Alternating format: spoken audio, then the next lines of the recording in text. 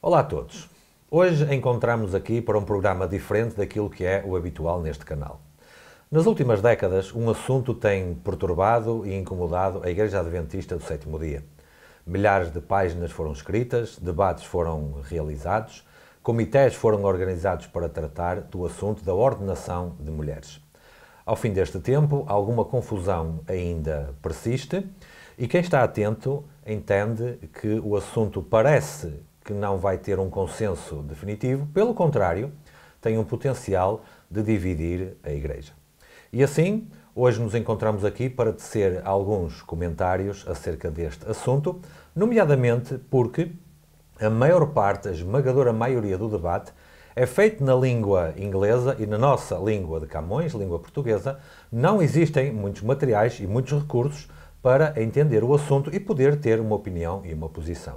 E esse é então um dos principais propósitos que nos traz aqui. Como é habitual aqui no canal, eu conto com a companhia do pastor Paulo Cordeiro, seja bem-vindo, que nos vai ajudar neste propósito que eu elaborei aqui. E talvez possamos começar com uma oração. Senhor nosso Deus, nosso Pai, obrigado, Senhor, pelo privilégio que é nosso de podermos estar ao teu serviço.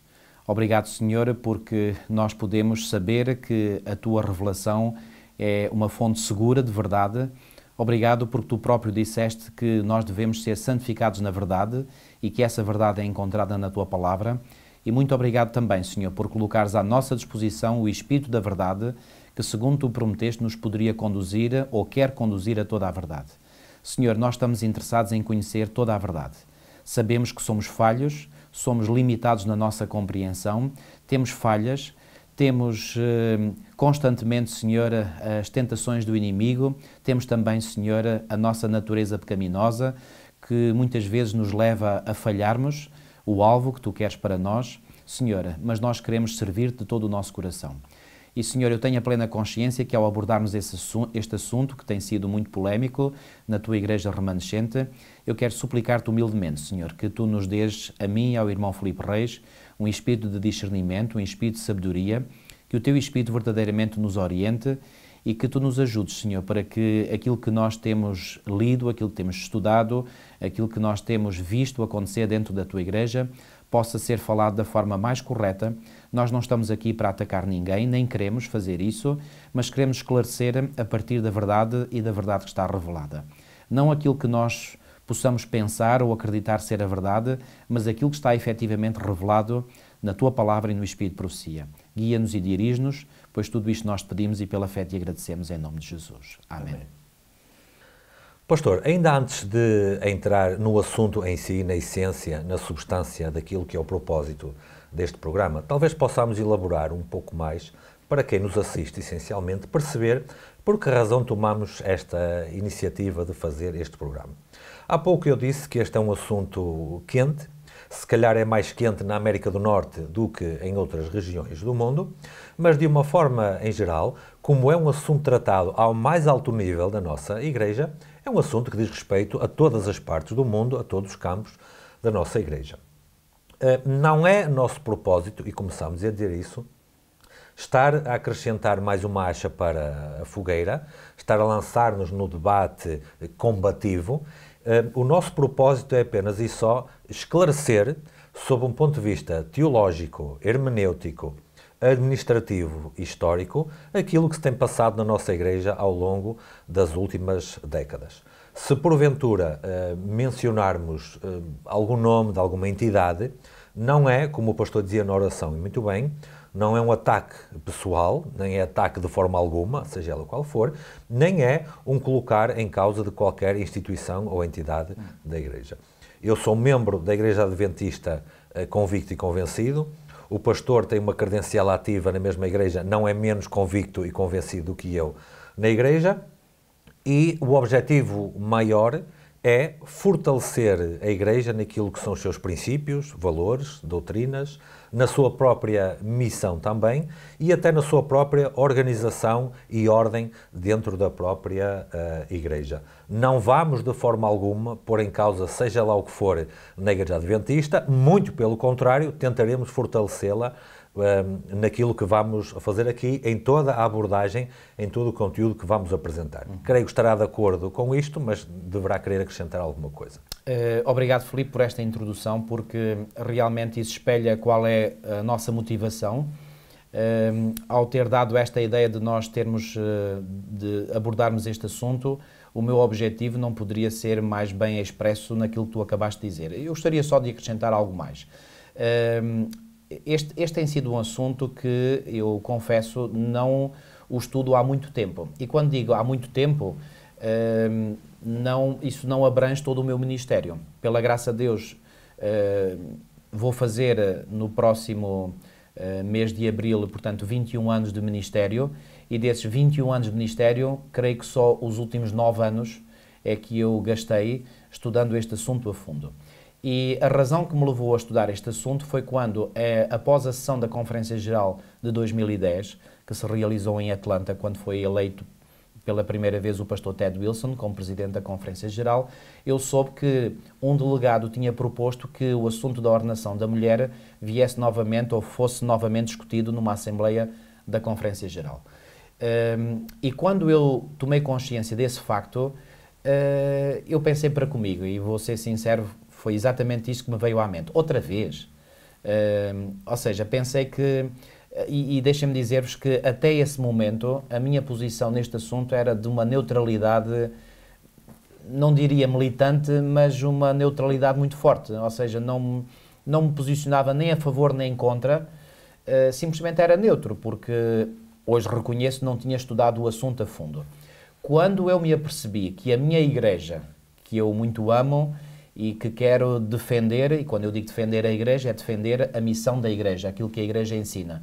Quando eu me apercebi que a minha igreja ia novamente ao mais alto nível uh, falar deste assunto, eu pensei para comigo outra vez, e então aí eu senti uma motivação adicional para eu próprio estudar este assunto como nunca tinha estudado. E ao começar a estudar este assunto, é que eu, os meus olhos começaram a abrir-se e eu comecei a ver as implicações deste assunto. Ao contrário do que muitas pessoas, e eu sei porque eu já, já tenho falado com várias pessoas sobre este assunto, e eu me tenho apercebido que muitas pessoas estão numa posição idêntica àquela em que eu estava. Uh, ou seja, é um assunto que não lhes causa, não aquece nem arrefece, para usar uma expressão popular, Uh, há outros que claramente são a favor, há outros que claramente são contra. O que eu posso dizer é que, à medida que eu fui estudando este assunto, aí os meus olhos foram se abrindo e eu comecei a ver uh, as interligações que existem entre este assunto e outros assuntos e eu cheguei a uma conclusão. Eu vou dizer isto já numa primeira fase. este assunto da ordenação de mulheres não tem nada a ver com as mulheres. Isto eu quero já deixar isto bem claro porque, embora, digamos, as mulheres possam aqui ser faladas, porque isto tem a ver, eh, reparem, com algo que na prática, portanto, dará ou não dará, eh, digamos, responsabilidade às mulheres em determinadas funções eclesiásticas, o grande debate que se faz não é um debate acerca das mulheres ou do seu valor. Portanto, não Isso está, está causa, completamente fora de questão. Não está em causa nem valor, nem o trabalho que a mulher desempenha, nem o seu esforço, nem a nada, sua dedicação. Nada. Uh, o que está aqui em causa é uma discussão teológica. Uhum. E esta discussão é, sobretudo, isso eu já cheguei à conclusão e já ouvi outras pessoas dizer o mesmo. Aliás, estou em sintonia com muitos outros pensadores neste assunto. Esta é uma discussão essencialmente hermenêutica. Uhum. O que é que isto quer dizer? Como é que nós interpretamos a Bíblia? E será que a Bíblia tem algo a dizer sobre este assunto ou é silenciosa, como alguns alegam? E se tem algo a dizer, como é que nós lemos o que ela tem a dizer? Exatamente. Bom, o que é certo é que existe alguma coisa que cá, cá está escrito. Agora, como se interpreta isso, aí é que nós temos grandes divergências. Portanto, este assunto, volto a dizer, é sobretudo um assunto, uh, é um assunto teológico, essencialmente. Claro que depois este assunto teológico tem repercussões que se fizeram sentir ao longo da história da Igreja e tem repercussões a nível eclesiástico, dentro da nossa Igreja. Já agora, deixem-me dizer, dizer também que este assunto não tem sido um assunto só Uh, exclusivo, vivido, da, Igreja exclusivo da Igreja Adventista do Sétimo Dia. Este assunto já foi vivido e está a ser vivido noutras igrejas igualmente, nomeadamente em igrejas do ramo evangélico ou protestante. Uh, claro, na Igreja uh, Católica Apostólica Romana não se coloca esse problema, porque, como sabemos, a forma, a forma como a Igreja Católica Romana está organizada é de uma forma piramidal, portanto, em que o Papa é a figura máxima, o que ele diz. E, e é lei? É lei. A seguir ao Papa é o Colégio dos Cardeais e, portanto, uh, o que está estabelecido está estabelecido e ninguém ousa pôr em causa. E se alguém pôr em causa é mal visto e, portanto, é um dissidente, etc. E, portanto, na Igreja Católica este assunto nem sequer se discute porque é tabu, portanto, não se pode discutir. Portanto, onde este assunto tem sido muito discutido tem sido em igrejas protestantes. Uhum. E, sobretudo nos Estados Unidos, e não só, mas sobretudo nos Estados Unidos, este assunto foi debatido dentro dos batistas, dentro dos presbiterianos, dentro de, enfim, várias denominações. E, embora tenha chegado mais tarde à Igreja Adventista do Sétimo Dia, já aqui vou dar um, digamos, uma referência histórica, ele chegou à Igreja Adventista do Sétimo Dia quando, pela primeira vez, a União da Finlândia propôs se este assunto não deveria ser discutido. Bom, estou a falar dos tempos modernos, porque eh, há alguns que alegam que numa sessão da Conferência Geral que houve ainda no século XIX, este assunto foi discutido. Depois nós podemos entrar uhum. mais em detalhes sobre isso, mas vindo aos tempos modernos, é verdade que esse assunto foi aí um pouco falado, mas depois foi resolvido e foi um assunto que não se falou mais Rapidamente durante e ficou, décadas e, e décadas. Ficou silencioso durante, durante décadas. Durante décadas. E então, no final dos anos 60 ou início dos anos 70, creio que foi em 1970 ou 71 ou 69, agora não estou bem seguro da data, a União da Finlândia propôs que o, que o assunto pudesse ser avaliado, discutido, etc. E a partir daí começou-se então a, a, discutir o assunto e a primeira vez que numa, uh, num concílio com líderes, sobretudo da divisão norte-americana, este assunto foi falado, foi no concílio de primavera de 1975 ok? Portanto, 1975 é a primeira vez que este assunto, portanto, foi... Ao nível de um órgão oficial da Igreja. Exatamente, foi falado. Depois, uh, vai-se falar uh, a partir daí mais vezes. Depois, há uma decisão que é tomada também em 1984 num concílio anual. Depois, o assunto é levado à sessão da Conferência Geral em 1990 e depois foi novamente levado, mas com uma outra... Com outros termos. Com outros termos. Não exatamente os mesmos. Exatamente. Em 1995 quando cinco anos depois se deu uma nova, uma nova sessão da Conferência Geral. E depois de 1995 parece que o assunto entrou em stand-by, mas não entrou. E finalmente em 2010 este assunto volta novamente, uhum. portanto é, é, é, colocado em cima da mesa a necessidade de, de, se falar deste assunto. E finalmente em 2015 foi a última sessão da Conferência Geral, este assunto foi novamente discutido e votado. Uhum. Agora, hum, esta é uma novidade, a divisão sul do Pacífico, fez agora, publicou no seu órgão oficial uh, um pedido para que uh, a administração da Conferência Geral coloque em cima da mesa a hipótese de este assunto ser novamente falado na próxima sessão da Conferência Geral, que se vai realizar, portanto, no ano 2020, ou seja, já para o ano que vem. E a sessão da Conferência Geral que se vai realizar no ano 2020, por sinal, vai ser no mesmo local onde se efetuou a sessão da Conferência Geral de 1990 na cidade norte-americana de Indianápolis, que é a capital do estado de Indiana. Portanto, uh, ora, uma vez que este assunto está a ser novamente, ou eu não sei ainda se a administração da Conferência Geral vai aceitar colocar ou não este assunto de novo na agenda de uma sessão da Conferência Geral. No entanto, há um pedido oficial de uma divisão mundial que é, repito, a divisão sul do Pacífico, para que este assunto volte novamente a ser falado. Então, em vista destes factos, estou a falar de factos, Portanto, eu creio que é, importante. Uh, e, reparem, eu, eu, eu, eu, quase que fiz uma promessa a mim mesmo que quando o assunto foi discutido na sessão da Conferência Geral em 2015 e foi votado, não falaria mais deste assunto. Uh, no entanto, uh, eu não falaria se este assunto ficasse resolvido e, portanto, não se discutisse mais sobre ele. Infelizmente não ficou. Não ficou. E, portanto, há entidades, há, há uniões, há conferências, há associações, há inclusive divisões, portanto, que estão novamente a trazer este assunto à baila. E aqui começa-se a perceber claramente, e não sou só eu que percebo isto, que o facto dessas uniões ou dessas conferências ou mesmo dessa divisão ou divisões um, estarem, portanto, a voltar ao assunto, é que eles não aceitam o voto, a decisão que já foi tomado em, tomada em três sessões da Conferência Geral. De forma legítima e responsável, responsável pelo transparente, órgão, pelo órgão da Igreja que tem toda a autoridade para Exatamente. fazer isso. E, portanto, sendo assim, eu creio que há uma necessidade de nós efetivamente falarmos deste assunto. Até porque pode haver pessoas que não estão ainda suficientemente esclarecidas sobre este assunto, como eu não estava até 2010. A semana passada eu falava com uma irmã nossa, como dizemos aqui no nosso bom português, uma joia de pessoa, que, quando confrontada com algumas questões sobre a ordenação de mulheres, questões que ela estava totalmente desconhecedora, ela pensou que não mais poderia exercer uma função qualquer à frente na Igreja, o que é uhum. totalmente falso, como dissemos há pouco, não é?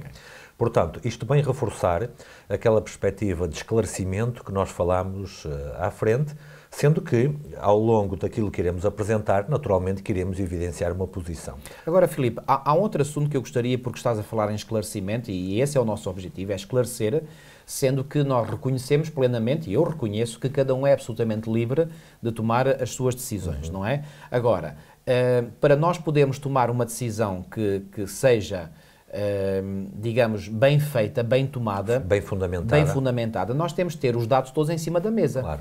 E o que eu creio é que não existe, e tu fizeste bem em referir, daquilo que eu conheço, uh, no mundo lusófono, ou seja, no mundo que fala a língua portuguesa, há pouco material, há pouca informação sobre este assunto, sobretudo de um ponto de vista conservador, que é aquele que eu agora defendo e que eu sei que tu defendes igualmente. Portanto, tem havido realmente muita informação uh, em língua portuguesa, mas que aceita mais o lado. Eu não gosto de usar estes termos, mas sou obrigado a usar, porque claramente a nossa igreja está dividida uh, entre o campo liberal e o campo conservador. E, portanto, volto a dizer, eu pessoalmente, posso estar enganado, mas daquilo que eu tenho observado, há pouco material em língua portuguesa que defende o lado conservador da questão. Tenho visto mais do lado liberal, em língua inglesa aí já está mais equilibrado, portanto há tanto material de um lado como do outro. Claramente, eu quero deixar isto bem claro, portanto, desde o início, nós aqui, eu e o irmão Filipe Reis, iremos defender o lado conservador da questão. E esse lado chamamos conservador porque acreditamos que tem uma base sólida bíblica. E é isso que nós queremos falar. Mas outro esclarecimento não menos importante que eu queria deixar aqui. Nenhum de nós está contra o ministério das mulheres dentro da igreja. Uhum. Nunca ouvi ninguém defender o lado do não à ordenação da mulher estar contra o papel da, da mulher na igreja. Nunca ouvi. Nem uma única pessoa.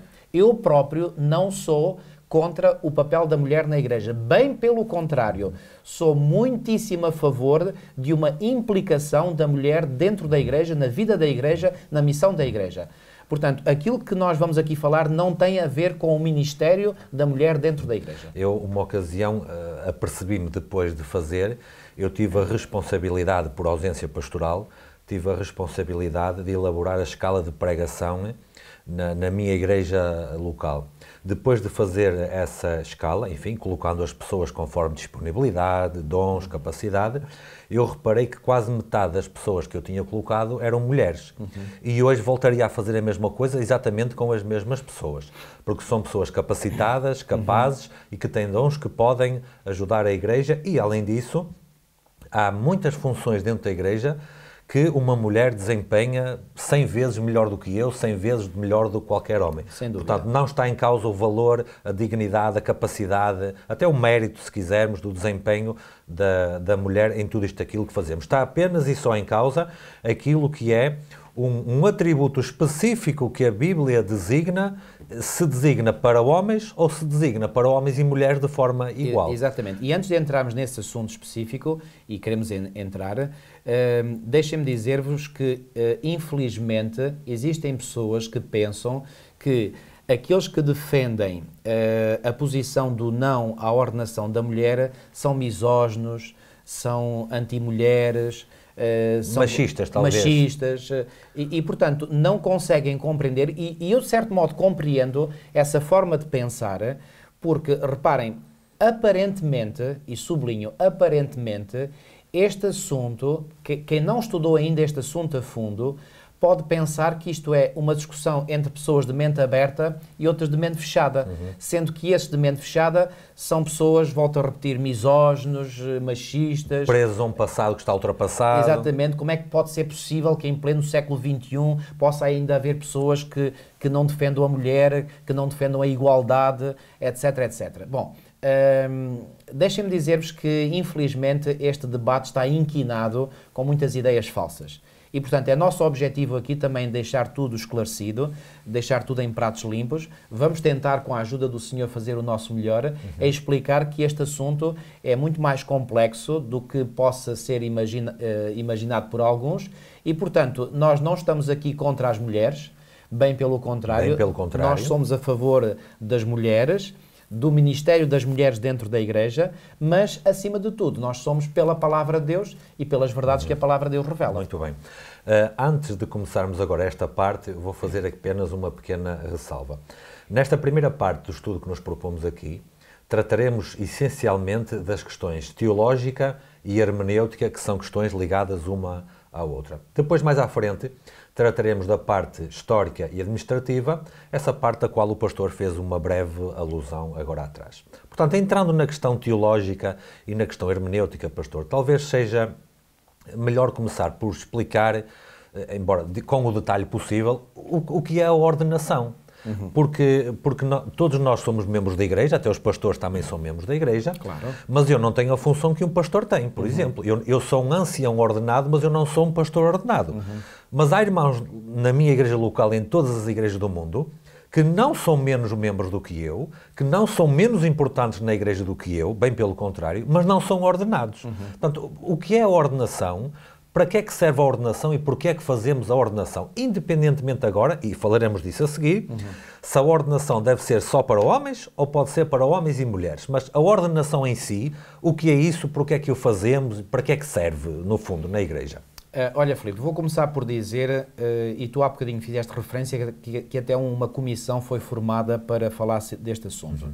Essa, essa comissão foi formada na sequência do pedido que o tal delegado fez na sessão da Conferência Geral em Atlanta, em 2010, e então, como resultado desse pedido, a Conferência Geral, ou melhor, a Administração da Conferência Geral, formou, ou, ou até penso que foi logo no, na própria sessão da Conferência Geral, que se formou, que se colocaram os, as bases para a formação de uma comissão a nível mundial. Que depois funcionou durante alguns anos com mais de 100 pessoas representando todo o espectro da Igreja, que se reuniram duas vezes por ano, penso eu, no mínimo uma, mas talvez duas vezes, duas por, vezes ano, por ano. Duas vezes por, duas ano, vezes por ano. E que depois elaboraram o seu relatório que foi apresentado na sessão de 2015 Exatamente. E antes disso foi apresentado no Concílio Anual de Outono de 2014. Para ser colocado na agenda da sessão da Conferência da Geral 2015. Exatamente. E essa comissão ficou conhecida como, pela sigla inglesa TOSC. É, o é, Comitê de Estudo da Teologia da Ordenação. Exatamente. Em inglês, Theology of Ordination Study Committee. Eh, portanto, comitê ou comissão de estudo da ordenação da teologia da, da ordenação. teologia da ordenação, exatamente. Não necessariamente a teologia da ordenação de mulheres, exatamente. mas da teologia da ordenação. E porquê que eu estou a chamar a atenção para isso? Para dizer que quando eles votaram uma declaração sobre a validade ou não do conceito de ordenação, a opinião foi unânime. E quando eu digo unânime, quer dizer isso mesmo, unânime, ou seja, todos estão de acordo que a ordenação é um conceito bíblico. Portanto, aí não houve divisão. Onde houve divisão, e realmente houve, foi se esse princípio bíblico da ordenação pode ser aplicado de igual modo a mulheres ou a homens, ou dependendo, só homens. ou só a homens, dependendo da função eclesiástica. Uhum. Tu há bocadinho referiste aqui algo também muito importante, que é a questão da função, de funções. Um, e aquilo que está aqui em causa realmente são as funções. Será que uma mulher pode ocupar determinadas funções eclesiásticas? Sim ou não? Essa é a grande questão.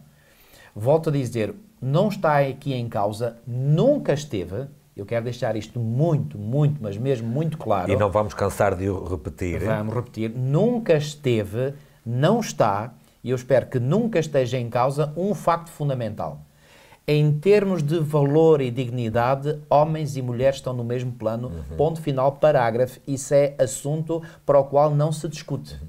A salvação não se estende mais, mais aos homens ou menos às não, mulheres.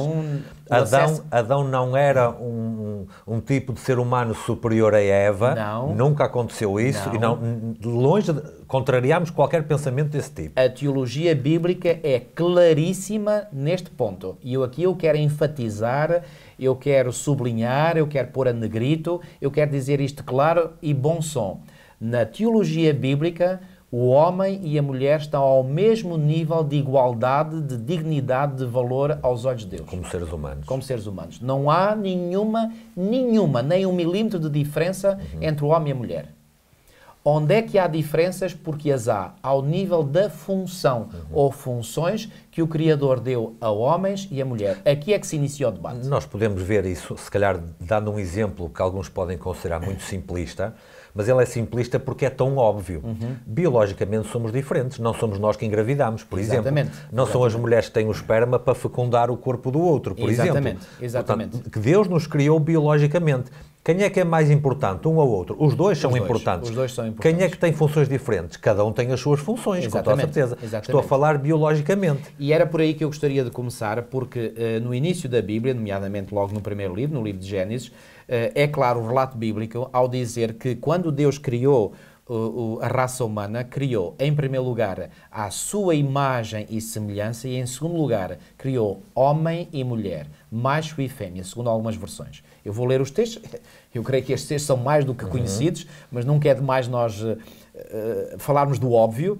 Gênesis, capítulo 1, versículo 26. Também disse Deus: façamos o homem, sendo que aqui homem é a humanidade. é a humanidade, à nossa imagem, nossa. Da divindade. Da divindade, exatamente. Uh, só um pequenino parênteses aqui, este nosso até é plural, mostra que a divindade é plural. Uhum. Mas isso é outro assunto, não vamos agora entrar claro. uh, por aí. Mas, embora uh, mais à frente eu vou usar um argumento que tem a ver com, com o, o, facto de que a divindade é um conjunto de seres e não apenas um ser. Uhum. também disse Deus: façamos o homem à nossa imagem, conforme a nossa semelhança tenha ele, ele, humanidade, ou homem, domínio sobre os peixes do mar, sobre as aves dos céus, sobre os animais domésticos, sobre toda a terra e sobre todos os répteis que rastejam pela terra. Isto foi a decisão. Façamos o homem à nossa imagem. Foi tomada uma decisão. Agora, essa decisão foi posta em execução. E é o que diz agora o versículo 27. Criou Deus, pois, este pois é, ou seja, na sequência da decisão tomada, agora passa-se à ação, à execução da decisão.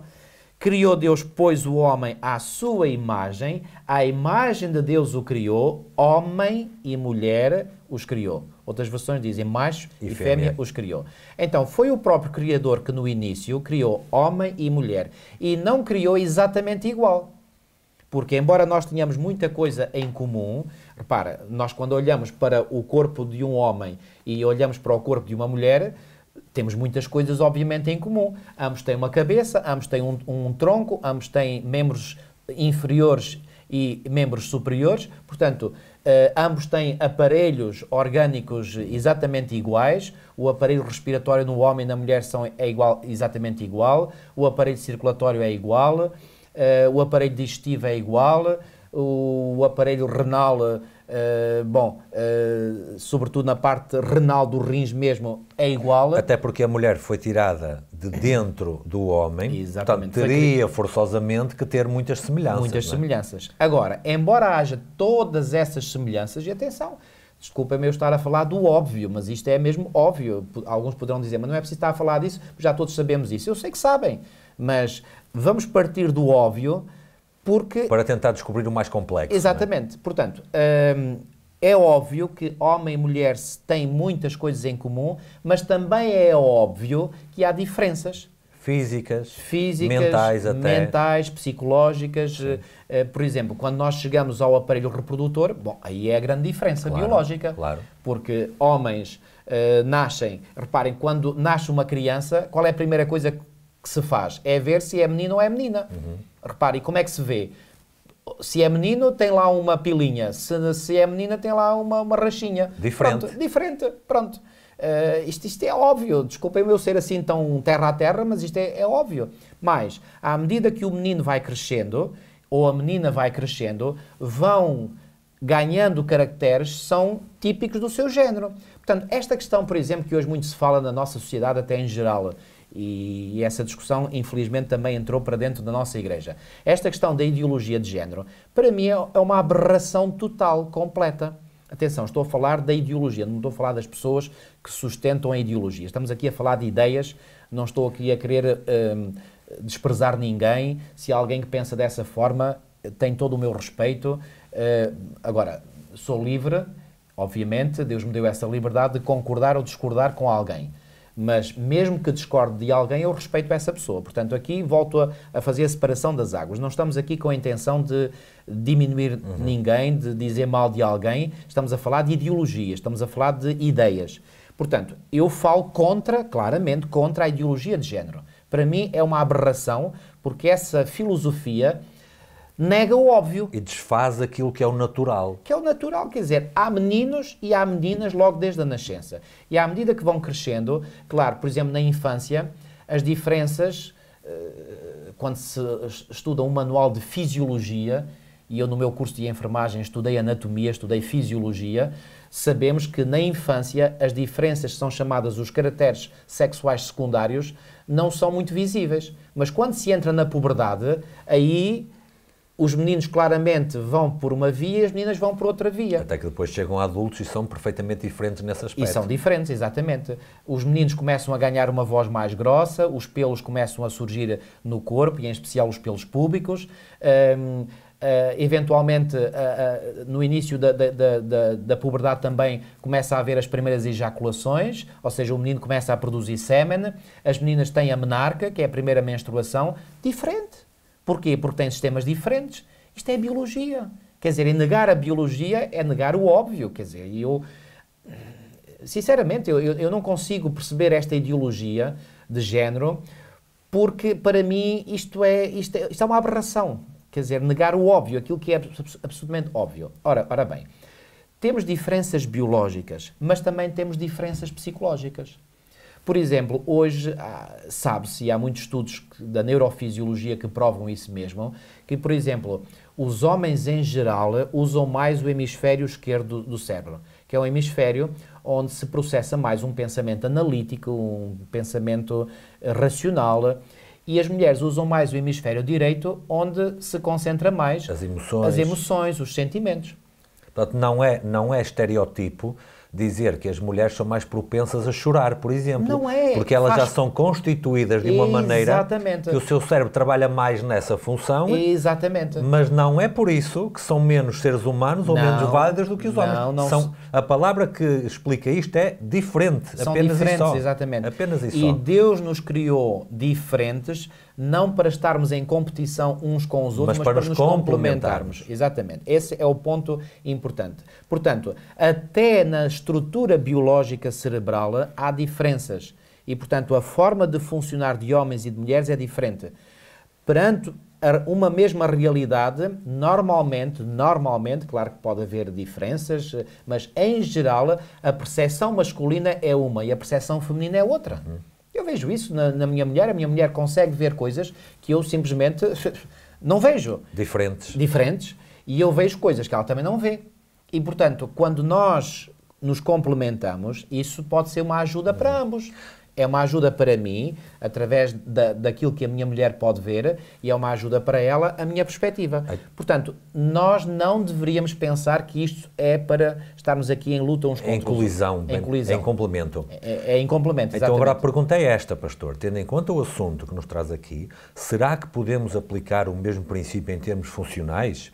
Exatamente. Será que mulheres e homens pelo desígnio de Deus. Não, uhum. não, estamos a falar de mais nada porque o pastor remeteu a leitura da criação, apenas Exatamente. isso. Será que pelo desígnio de Deus, aquilo que Deus projetou para a humanidade, sendo que a humanidade é homem mais mulher, certo. isso é que é a humanidade, certo. também há diferenças funcionais entre os também dois? Também há diferenças funcionais. E claramente, e claramente a Bíblia nos mostra que Deus, ao criar a humanidade, não apenas criou dois géneros distintos, diferentes, mas que se complementariam um ao outro. Aliás, deixem-me dizer-vos isto, pode parecer até ser um bocadinho arrojado eu dar este exemplo.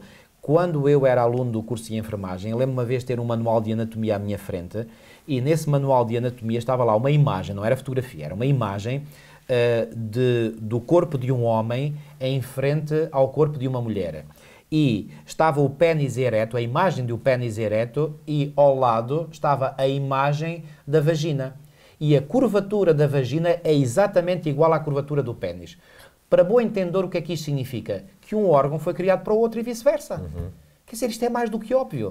Cada um exerce a sua função, mas são complementares. São complementares. Portanto, no, até... caso, no caso concreto, para efeitos da reprodução humana, Exatamente. que foi o que acabou de ler. Portanto, neste caso, até ao nível biológico ou físico, Deus criou homem e mulher para se complementarem um ao outro. Mas este caso que acabou de dizer também demonstra que funcionalmente são diferentes para se complementarem. Para se complementar, exatamente, ok? E, e reparem, todos nós sabemos que a reprodução não é possível entre dois homens uhum. e também não é possível entre duas mulheres. Claro. Só é possível entre um homem e uma mulher. Certo. Ou seja, Deus criou a reprodução baseada no facto de que tem que haver uma cooperação entre os dois. Okay? Só um não é possível. Só um não é possível. Ou seja, dois diferentes, complementando-se um ao outro, eles conseguem cumprir com a ordem que Deus Exatamente. deu. Exatamente. Que é crescer e multiplicar-vos e encher a terra. Ok? Agora, em termos funcionais, também existe essa diferença. Como há bocadinho já referiste muito bem, isto também me parece óbvio, que só as mulheres é que engravidam. Claro. Portanto, o, o, a função da maternidade foi dada por Deus à mulher, não foi dada ao homem. Portanto, o homem tem a função de engravidar. A mulher tem a função de reproduzir, portanto, de gerar no seu, no seu ventre, no seu útero, útero que, aliás, o homem nem tem, claro. não é? Ovários o homem não tem, trompas de falópio o homem não tem, mas a mulher, por sua vez, também não tem testículos, não tem pênis. Portanto, há diferenças. Deus nos criou diferentes. E da mesma forma que há diferenças biológicas, há diferenças funcionais. Agora, onde é que eu queria chegar com isto? Da mesma forma que a função da maternidade foi dada à mulher e à mulher unicamente, na Bíblia, e isso aí já, por não ser tão óbvio, já muitos contestam. A função da liderança foi dada por Deus ao homem e ao homem apenas.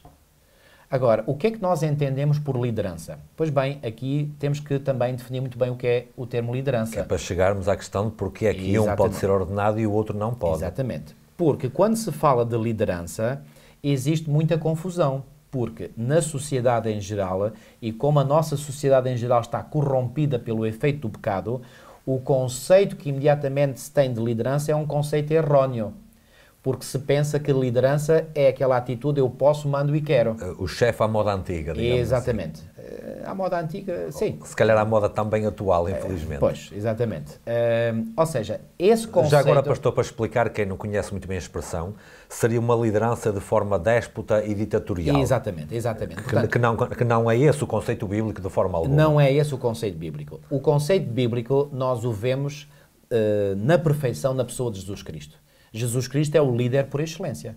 Jesus Cristo é, é, é, é a cabeça da igreja, como refere o apóstolo Paulo. Ora bem, uh, agora, alguma vez ele exerceu ou exerce um poder déspota sobre a igreja? Nunca. Mas Jesus disse claramente que o Filho do Homem não veio para ser servido, mas para servir. servir. Então, a verdadeira liderança, do ponto de vista bíblico, é uma liderança de serviço é uma liderança para servir, não uma liderança para ser servido. Uhum. Porque no conceito humano, ser líder é eu estou na posição de chefe, de topo, então eu devo ser servido. Todos devem girar à minha volta e todos me devem servir a e mim. E fazer o que eu mando. E fazer o que eu mando, o que eu quero. O que eu quero. Não é esse o conceito de liderança bíblica. O conceito de liderança bíblico é o líder é aquele que assume responsabilidades.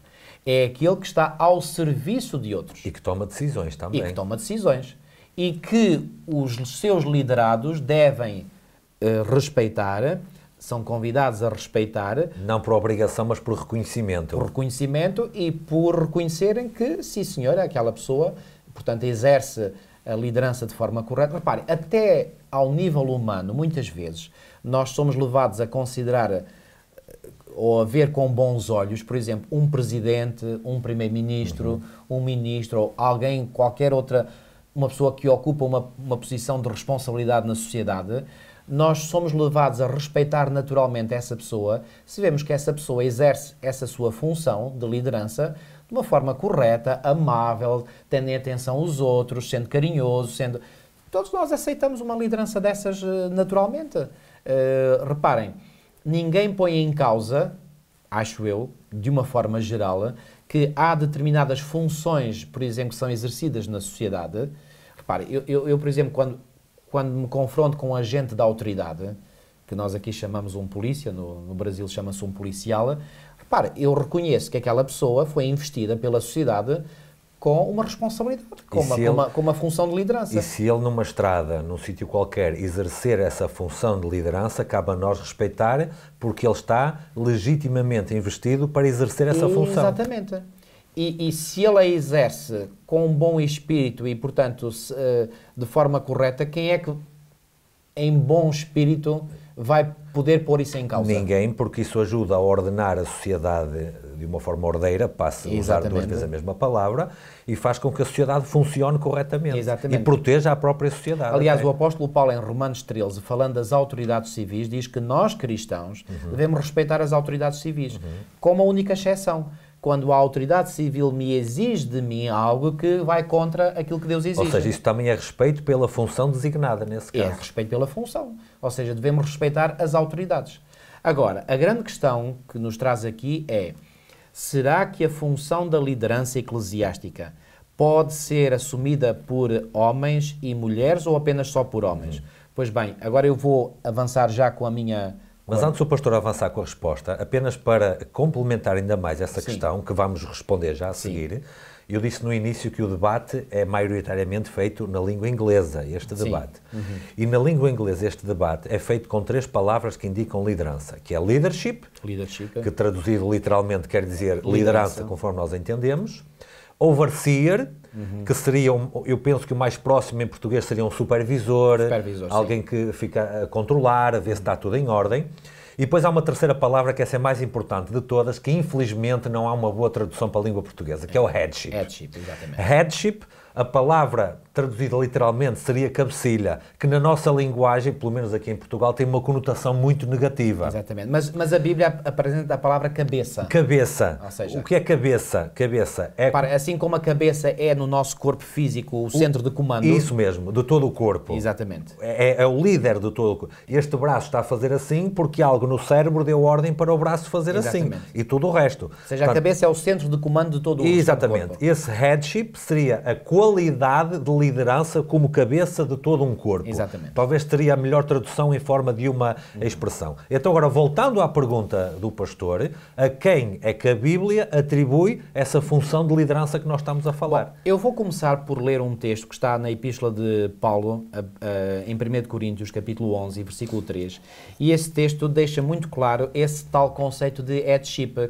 como disseste muito bem, não há uma palavra na língua portuguesa que uhum. traduza da melhor forma esse, essa palavra inglesa. Mas headship é, portanto, a qualidade daquilo que é a cabeça. A cabeça. Ok? Daquilo que é pronto, podemos usar também a palavra líder, líder. De, eh, de, portanto, aquele que comanda. Uhum. Agora reparem, imagina o que era o, no nosso corpo, vou usar a imagem do corpo, que aliás o apóstolo Paulo usa frequentemente essa imagem. Imagine o que era, por exemplo, o, o cérebro dar ordem ao, ao, braço para se mexer e o braço dizia assim: Não, não tenho nada que mexer, quem manda sou eu. O corpo deixava de funcionar. Deixava de funcionar. As, fun as funções ao não serem respeitadas, punham em causa o funcionamento de todo o corpo. Exatamente. Uh, o, o, meu pé, o, o cérebro dava uma ordem para o pé se mexer ou as pernas começarem a andar e as pernas diziam, não, não, não nós não queremos andar. Não andávamos, não saímos do sítio. Eu, eu, sou autónomo e, portanto, eu não tenho que estar subjugado a ninguém, portanto, uh, por que razão é que tem que ser a, a, cabeça que tem que dominar? Não, eu também quero dominar. Isso e agora... seria atentar contra as leis da biologia, não é? isto, isto. Repare, eu estou a usar um exemplo que é totalmente absurdo. Uma ilustração. Mas é uma ilustração que mostra que na igreja e na sociedade nós devemos também respeitar aquelas pessoas que estão em posição de uhum. headship, de liderança. Uh, Eu Deus... acho que nós podemos perceber isto muito bem e qualquer irmão que está a, perceber, a assistir, pastor, vai perceber o seguinte. Dentro da própria igreja, nós temos uma organização administrativa, certo? certo. Essa organização administrativa é exercida essencialmente por dois órgãos: o Conselho ou Comissão da Igreja Sim. e o Conselho Administrativo, a reunião administrativa da Igreja. Uhum. Tantas e tantas vezes é preciso fazer uma votação sobre um determinado assunto e, na maioria das vezes, não há unanimidade. Uhum. Há uma maioria que prevalece sobre uma minoria. Uhum. O que é que aconteceria se essa minoria não aceitasse a, a, a votação legítima e autorizada da maioria e constantemente a minoria se revoltasse contra a maioria por causa disso. Algo não iria funcionar. Exatamente. Não iria haver ordem, não iria haver nada. Logo, quando nós vamos à Bíblia para perceber qual é a ordem funcional de autoridade que a Bíblia eh, apresenta, e o pastor vai começar eh, logo por aí, certamente, nós podemos perceber que o respeito por essa ordem, mesmo que por alguma razão não estejamos 100% de acordo, o respeito por essa ordem vai providenciar eh, que haja ordem dentro da igreja, uhum. que haja ordem na família, Isso. que haja ordem a todos os níveis de organização que nós temos aqui na nossa própria uh, sociedade. Ó oh, Filipe, ainda antes de ler este texto, uh, que ele é muito esclarecedor e já lá iremos, uh, deixem-me dizer-vos isto. eu pessoalmente acredito, mas acredito todo o meu coração, que eu, por exemplo, que há bocadinho disseste muito bem, para além de ser pastor, também sou um membro de igreja, uhum. igual. Uh, a minha dignidade relativamente a, a, qualquer outro membro da igreja não está acima de qualquer membro da igreja. Não é por eu ser pastor que eu sou mais importante ou mais bem visto aos olhos de Deus do que qualquer outro membro da igreja. Uhum. Igualzinho. Igualzinho.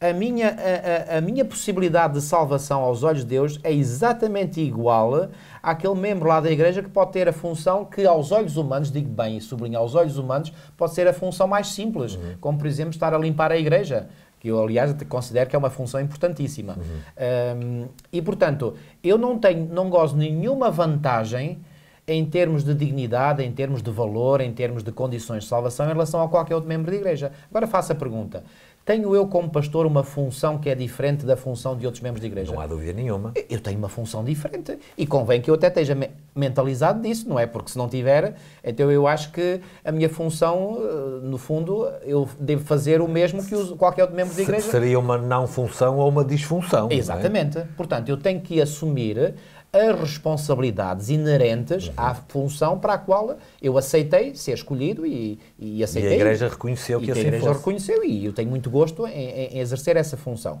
Dou um exemplo da sociedade civil. Digamos, portanto, que aproveitando o exemplo que demos há bocado, o pastor é o cabeça da igreja, nesse caso. Exatamente, exatamente. Da igreja local. Local, evidente. De, de local. Depois já há outros responsáveis a outros, outros níveis, níveis da igreja. Uh, regional, nacional, eh, etc. E até global. Mais uma vez, mundial. isso é apenas funcional. Funcional, exatamente. Eu dou outro exemplo. Por exemplo, uh, o presidente da República de um país, por exemplo, aqui o Marcelo Rebelo de Sousa ou o Jair Bolsonaro no Brasil, reparem, como cidadão que ele também é, tem ele direitos ou prerrogativas que, que, que, que outro cidadão não tenha? Não. Ele é um cidadão. Reparem, quando há eleições, tanto quanto eu saiba, nas sociedades ditas democráticas, ele não vai lá e diz assim: olha, dê-me aí 3 ou 4 ou 10 boletins de voto porque eu tenho direito a votar 10 vezes. Não, ele vota com um voto.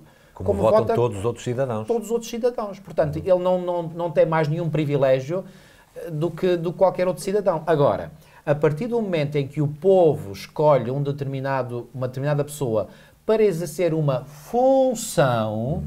ele tem uma função que não é a mesma função que têm os outros uh, cidadãos por, do, daquele país. Por exemplo, é óbvio. Por exemplo, o Presidente da República vai ao estrangeiro, ou até no próprio país, e representa aquele Estado. Exato. Eu não estou investido em função de representar o Estado português. Mais, não exatamente. sou menos cidadão português por causa disso, mas em nenhum âmbito eu estou autorizado a representar o Estado português, a não ser que ou a presidência ou o governo me passem uma procuração para isso. É a única maneira. Agora, não sou menos português por causa disso. Agora, a cabeça do Estado são eles, não sou eu. Exatamente. Aqui no caso português, Presidente da República em primeiro lugar, Presidente da Assembleia da República em segundo, Primeiro-Ministro em terceiro, Presidente do Supremo Tribunal de Justiça em quarto lugar. Exatamente. Não Portanto, estou diminuído na minha condição de português por causa disso, mas não tenho aquelas funções que aqueles senhores têm. Exatamente. Portanto, tu resumiste de forma clara, portanto, a diferença entre valor e dignidade por um lado e função por outro. Uhum. Não és menos português por isso e não és mesmo, mas simplesmente não tenho aquela não função tens aquela função e não tenho o direito de exercer aquela função. E agora imagina que tu chegavas em um país qualquer e, diz, e dizer, olha, eu estou aqui em nome do Estado português, toda a gente olhava para dizer assim, olha, aquele está maluquinho na cabeça. Internava-me num hospital psiquiátrico. E com toda a razão, e precisavas disso. Claro. Ou tu ou eu, caso fizéssemos isso. Claro. Portanto, estamos aqui, portanto, a falar de coisas diferentes e isto, infelizmente, o debate, o debate este debate que estamos aqui a falar sobre a ordenação da mulher tem sido grandemente inquinado porque muitas vezes se faz uma confusão entre valor e dignidade por um lado e função por outro. Muitas vezes Portanto, a palavra que é usada para explicar isto é equidade. Não é uma questão de equidade aqui. Não. Não é uma questão de equidade. Nem pode haver igualdade em termos funcionais, em termos claro. de funções. Portanto, Deus nos criou com funções diferentes. Deus criou o homem para exercer determinadas funções e Deus criou a mulher para exercer outras funções. Uhum. E se nós respeitamos o modelo bíblico, temos que respeitar isso. Então vamos ver qual é o modelo bíblico. E vamos ver caso. qual é o modelo bíblico. Ora bem, uh, eu já disse, portanto, que em termos físicos, uh, portanto, nós somos diferentes. Agora, vamos ver em termos de liderança, ok? E este texto aqui de 1 Coríntios 11.3, Paulo diz aqui, Quero, entretanto, que saibais. Paulo aqui não está a falar Bom, eu penso que, eu acho que. Não. Ele fala com uma certeza uhum. e está a incutir essa certeza naqueles que iriam ler esta, esta carta. Quero, entretanto, que saibais ser Cristo a cabeça de todo o homem. Eu pergunto, alguém com o mínimo bom senso coloca isto em causa? Uhum. Eu acho que não. Reparem, na igreja, Cristo é o supremo líder. Ponto final, parágrafo. Aliás, quem não reconhece isso. Ele é a rocha sobre a qual a igreja está edificada. Exatamente. Até. Portanto, Jesus Cristo é a cabeça suprema da igreja. Ponto final, parágrafo. Uhum. Se qualquer pessoa põe isso em causa, também tem que ir para o hospital psiquiátrico. Claro. Não está bem na sua cabecinha. Claro. E depois Paulo continua. E o homem, a cabeça da mulher. Ora, cá está. Que, segundo Paulo, Deus estabeleceu que o homem é, numa esfera relacional entre homem e mulher, o homem é a cabeça da mulher, da mesma forma que Cristo é a cabeça da igreja. E depois ele termina com uma outra noção. E Deus, aqui subentendido o Pai, a cabeça de Cristo. Então, há uma relação funcional, por exemplo, dentro da própria divindade, Sim. segundo Paulo, existe. Ou seja, e antes de fazer esta pergunta, vou fazer uma outra há diferenças de dignidade ou de valor entre as pessoas que compõem a divindade, sim ou não? Não, todos são 100% divinos. Todos são 100% divinos. Todos, todos, merecem adoração. Todos merecem adoração. Todos merecem que lhe prestemos a nossa honra, o nosso louvor de todos, forma igual. Todos são eh, iguais em valor, em dignidade, na omnisciência, todos partilham... Todos as, os atributos da divindade... Todos os atributos da divindade são partilhados pelos pelas, três. Pelos três, pelas três pessoas Aqui menciona só dois, estamos a alargar para o conceito bíblico da divindade de três pessoas. Exatamente. Exatamente. Portanto, isso aí é completamente fora de questão. Agora, há funções diferentes entre os membros da divindade? Claro que sim. As funções do Pai não são as funções do Filho. E as funções do Pai e do Filho não são as funções do Espírito Santo. Cada membro da divindade tem as suas funções específicas. Agora, aqui é que eu vou introduzir o ponto da criação. Não lemos há bocadinho na criação que Deus criou a humanidade à sua imagem e semelhança. Certo também a imagem e a semelhança da forma como os membros da divindade estão organizados em funções, essa imagem e semelhança foi transposta para a humanidade. Uhum. E Deus criou o homem para ser a cabeça da mulher e não o contrário. E não é o pastor que o está a dizer, foi o texto que nós acabamos de ler aqui. Eu uma vez vi uma declaração de um conjunto de teólogos da Universidade de Andrews. Para mim, e atenção, digo isto com todo o respeito, para mim, e digo isto é, é mesmo a minha convicção, não estou a dizer isto só para parecer bem, que eu não, não sou de, dessas pessoas. Eu tenho um elevado respeito pela Universidade de Andrews. É uma, uma, uma, uma instituição de educação de topo da, da Igreja Mundial. Não estou a dizer que tudo o que é emitido por lá seja, seja infalível, claro que não. Eh, cada, cada, cada teólogo é um ser humano, portanto, falível, mas que há ali excelentes trabalhos académicos, excelentes trabalhos de, de teológicos são ali produzidos e eu sou testemunha disso porque eu já li vários desses trabalhos e, portanto, são trabalhos de uma erudição, de uma profundidade extraordinários. Volto a dizer, há que fazer a separação das águas. O facto de uma pessoa ser um grande erudito não quer dizer que ele seja infalível. E quando eu tenho que escolher entre aquilo que um teólogo diz e aquilo que um profeta de Deus diz, eu escolho aquilo que o profeta diz. Uhum. Está fora de questão. Porque um assim diz o Senhor, um assim está escrito, vale por tudo. Isso arruma logo qualquer teólogo de parte. Agora, isso não quer dizer que os teólogos não tenham o seu valor. Claro que têm o seu valor, têm a, a sua, a, o seu conhecimento, estudam, assim como eu também estudo, mas reconheço que há pessoas que conhecem a Bíblia muito mais a fundo do que eu conheço. Mas uma vez eu vi uma declaração de alguns teólogos da Universidade de Andrews que me, que me deixou, deixou, digamos, insatisfeito, para dizer o mínimo. Porque era uma declaração sobre esta questão, portanto, que estamos aqui a abordar, e, embora nessa declaração, muito bem feita, muito bem construída, de forma lógica, etc., eu estava à espera que o texto de 1 de Coríntios 11.3 que eu acabei de ler estivesse lá nessa declaração. Pois bem, não estava.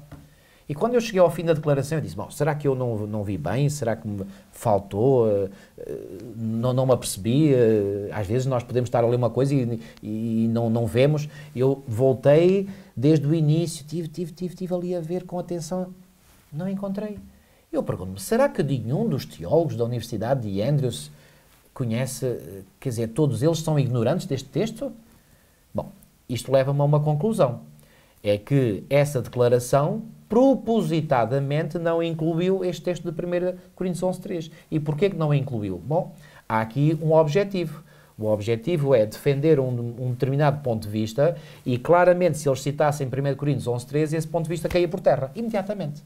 E, portanto, nós temos de ser muito cuidadosos ao avaliar o que a Bíblia diz, porque nós podemos muitas vezes fazer a Bíblia dizer aquilo que nós queremos que ela diga. A própria Ellen White tem um texto nesse sentido. É. Se nós quisermos encontrar na Bíblia razões para fundamentar a nossa opinião, arranjaremos maneira de as encontrar. Exatamente. Mas essa não é a forma correta de ler e de estudar a Bíblia.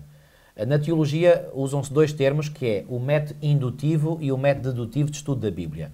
O método dedutivo é aquele em que eu parto das minhas ideias, acho que as minhas ideias são são, são, são boas. E vai à Bíblia à procura de aprovação para as suas Exatamente. ideias. Exatamente. Esse é o chamado método dedutivo ok? O método indutivo é eu esvazio-me daquilo que eu penso, eu vou à Bíblia, eu comparo texto com texto, eu confronto textos que aparentemente, digo bem, sublinho, aparentemente são contraditórios, eu confronto esses textos para chegar a, uma conclusão. a uma conclusão para saber o que é que a Bíblia no seu conjunto tem a dizer sobre determinado assunto. Não, Esse é o método indutivo. Mas não vai com preconceito. Não. Vai, ou, ou melhor, não vai com pré-conceito, melhor dizer assim. Pré-tracinho conceito. Ou seja, o que é que, o que, é que eu faço? É, no, no, método indutivo, eu reconheço que a autoridade absoluta, mesmo sobre mim, é a palavra de Deus. Ou seja, eu vou ver o que é que a palavra de Deus diz. E o que a palavra de Deus diz, eu tenho que aceitar mesmo que vá contra as minhas opiniões. Portanto, neste caso concreto aqui, aplicando esse método, nós vemos que Deus é cabeça ou exerce alguma liderança sobre Cristo Cristo é cabeça, exerce liderança sobre o homem. Isso. O homem é cabeça, exerce liderança sobre a mulher. Exatamente. É isso que este texto está aqui a dizer. É isso claramente. É isso claramente. Portanto, uh, o pai exerce uma função de liderança sobre o filho. Aliás, o... Enquanto o pastor procura, sim, já sim. agora, eu estou-me a lembrar de que até, até quando foi, e isto Ellen White esclarece muito bem, até quando foi para Cristo se oferecer para vir resgatar a raça humana, ele foi junto do Pai, não sei se a palavra é melhor, mas perguntar e pedir autorização se o pai o autorizava a vir cá para morrer pela raça humana. Exatamente. E, e ele foi envolvido três vezes na glória do pai, o misterioso conselho da divindade, e finalmente o pai acedeu a que ele viesse cá. Ora, então aqui vemos que há funções diferentes. Exatamente. Porque senão Cristo tinha dito, eu quero ir e vou. Mas não, reuniu em conselho com o seu pai para buscar junto de seu pai, que é a sua cabeça, como diz a uhum. Bíblia, que o pai reconhecia e autorizava, não sei se estas são as melhores palavras, mas creio que é algo para nós sim, percebermos sim, sim, aqui. Autorizava que ele viesse, porque exerce uma função sobre ele que é descrita por este texto aqui. Por exemplo, o apóstolo Paulo, em 1 Coríntios, no capítulo 15, falando do final do grande conflito, ele diz assim, 1 Coríntios 15, 28. Quando, porém, todas as coisas lhe estiverem sujeitas, sujeitas a quem? Sujeitas ao Filho, uhum. a Cristo, então o próprio Filho também se sujeitará Olhem aqui, Cristo a sujeitar-se a alguém. E esse alguém quem é? É o Pai. O próprio Filho também se sujeitará àquele que todas as coisas lhe sujeitou para que Deus seja tudo em todos. Então nós vemos que na, no próprio seio da divindade há uma relação de sujeição. Uhum. Cristo sujeita-se ao Pai, o Espírito Santo sujeita-se a Cristo e ao Pai. Portanto, há uma relação. Reparem, volto a dizer: nenhum deles é superior em valor e dignidade aos outros mas em termos de funções, em termos funcionais, eles são diferentes. Uhum. E há uma hierarquia. Por exemplo, eu sou pastor da União Portuguesa dos Adventistas do Sétimo Dia. Eu nunca fui investido uh, pela Igreja a nível nacional para ocupar, por exemplo, o cargo de presidente da União Portuguesa dos Adventistas do Sétimo Dia. Ok? Também nunca ambicionei isso. Deixa-me que fique aqui claro. Mas o que é que isso significa? Que há alguém que em determinado momento numa assembleia reunida com delegados de toda a Igreja a nível nacional, elege uma pessoa para ser o presidente da União. Agora eu pergunto, será que o pastor, que é meu colega de ministério, nós até estudámos juntos por um período no mesmo seminário adventista em Colões, França, será que esse meu colega é mais importante do que eu? Será que Deus tem mais amor por ele, por ele ser presidente da União, do que tem por mim? Mais uma vez a mesma resposta. Não, mas É tem evi- uma função diferente. evidente que não. Agora, tem ele uma função que eu não tenho? Claro que tem. E tem atributos que o pastor não tem, também Tem tem. atributos. Pode ele representar oficialmente a União Portuguesa em qualquer país onde vá? Pode. Pode. Posso eu fazer isso? Não, não, Não. posso. Devo eu respeitar a autoridade que ele representa? Devo. Qual é o grande problema que nós muitas vezes temos? É que nós não queremos respeitar as autoridades. E esse é um problema que já vem de Lúcifer. Ou seja, foi Lúcifer que no céu pôs em causa que os seres angélicos deveriam submeter-se à autoridade e ao governo divinos. E, portanto, muito cuidado quando nós alimentamos no nosso coração este desejo de querer ocupar uma posição ou uma função para a qual não fomos designados. E para mim, agora aqui entra aqui num- num- numa questão extremamente sensível e polémica, o que eu acho que está a acontecer dentro da nossa igreja é que as mulheres querem ocupar posições para as quais Deus nunca as designou. E este aqui é um problema. E nesse caso, pastor, eh, há essa ruptura da ordem funcional que Deus estabeleceu e, ao mesmo tempo, ah, o primeiro grupo prejudicado com essa ruptura são as próprias mulheres. São, são. Porque ao serem retiradas das funções, e agora vou usar uma expressão que Ellen White usa, Uhum. que podemos dizer com segurança que em muitos casos as funções para as quais Deus dotou as mulheres são mais elevadas do que aquelas Ah, para as quais são. dotou. Ah, são. Elevadas. Elevadas, Portanto, eu- exatamente. eu, como homem, estamos a colocar-nos aqui abaixo, porque Abaixo. elevado é superior. Exatamente. Portanto, eh, quando acontece essa disrupção de funções, a mulher é o primeiro grupo que é prejudicado imediatamente. Há um texto de Ellen White que nós podemos ver a seguir que diz claramente que, portanto, o- a mulher, na sua função no lar, tem uma função que é superior àquela até do rei. Portanto, na sociedade. Então, isto diminui o valor e a função da mulher de forma alguma. Pelo, pelo, pelo contrário, dignifica. Agora, nós temos é que ser muito claros ao afirmar que funções é que Deus atribuiu ao homem, que funções Deus atribuiu à mulher. A grande discussão é esta. E, portanto, a questão da ordenação passa por nós decidirmos, em primeiro lugar, será que a mulher pode ser ordenada para esta função, sim ou não? Pois bem, a função de pastor ou de ancião é uma função eclesiástica de liderança. E sendo uma posição de liderança, portanto, essa função foi dada exclusivamente a homens, não a mulheres.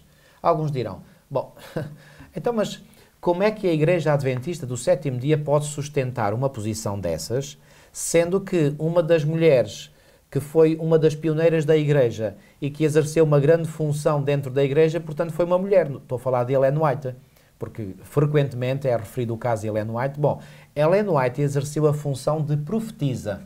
Não exerceu nunca, nem ela nunca quis exercer a, a função de pastora ou de Qualquer tipo de liderança ou de ancião, ou seja, fosse, seja o que que não for. fosse o portador da revelação profética. Aliás, até se, até se diz que Ellen White foi, eh, portanto, eh, investida, ela nunca recebeu a imposição das mãos para ser, portanto, eh, ordenada a, a- qualquer função eclesiástica. e esse argumento que o pastor está a usar agora, Agora, deixa-me só acabar Sim. uma coisa, Filipe. Ahm, a função de do profeta ou profetisa, claramente na Bíblia, quer no Antigo Testamento, quer no Novo Testamento, foi dada quer a homens, quer a mulheres. Débora, as filhas de Filipe, por exemplo. Exatamente, temos, temos Hulda, por exemplo, no tempo do rei Josias, eh, Mas, Débora. bastaria um exemplo para, Bastaria, para desmontar, mas mas, temos, temos, vários. alguns. Temos vários.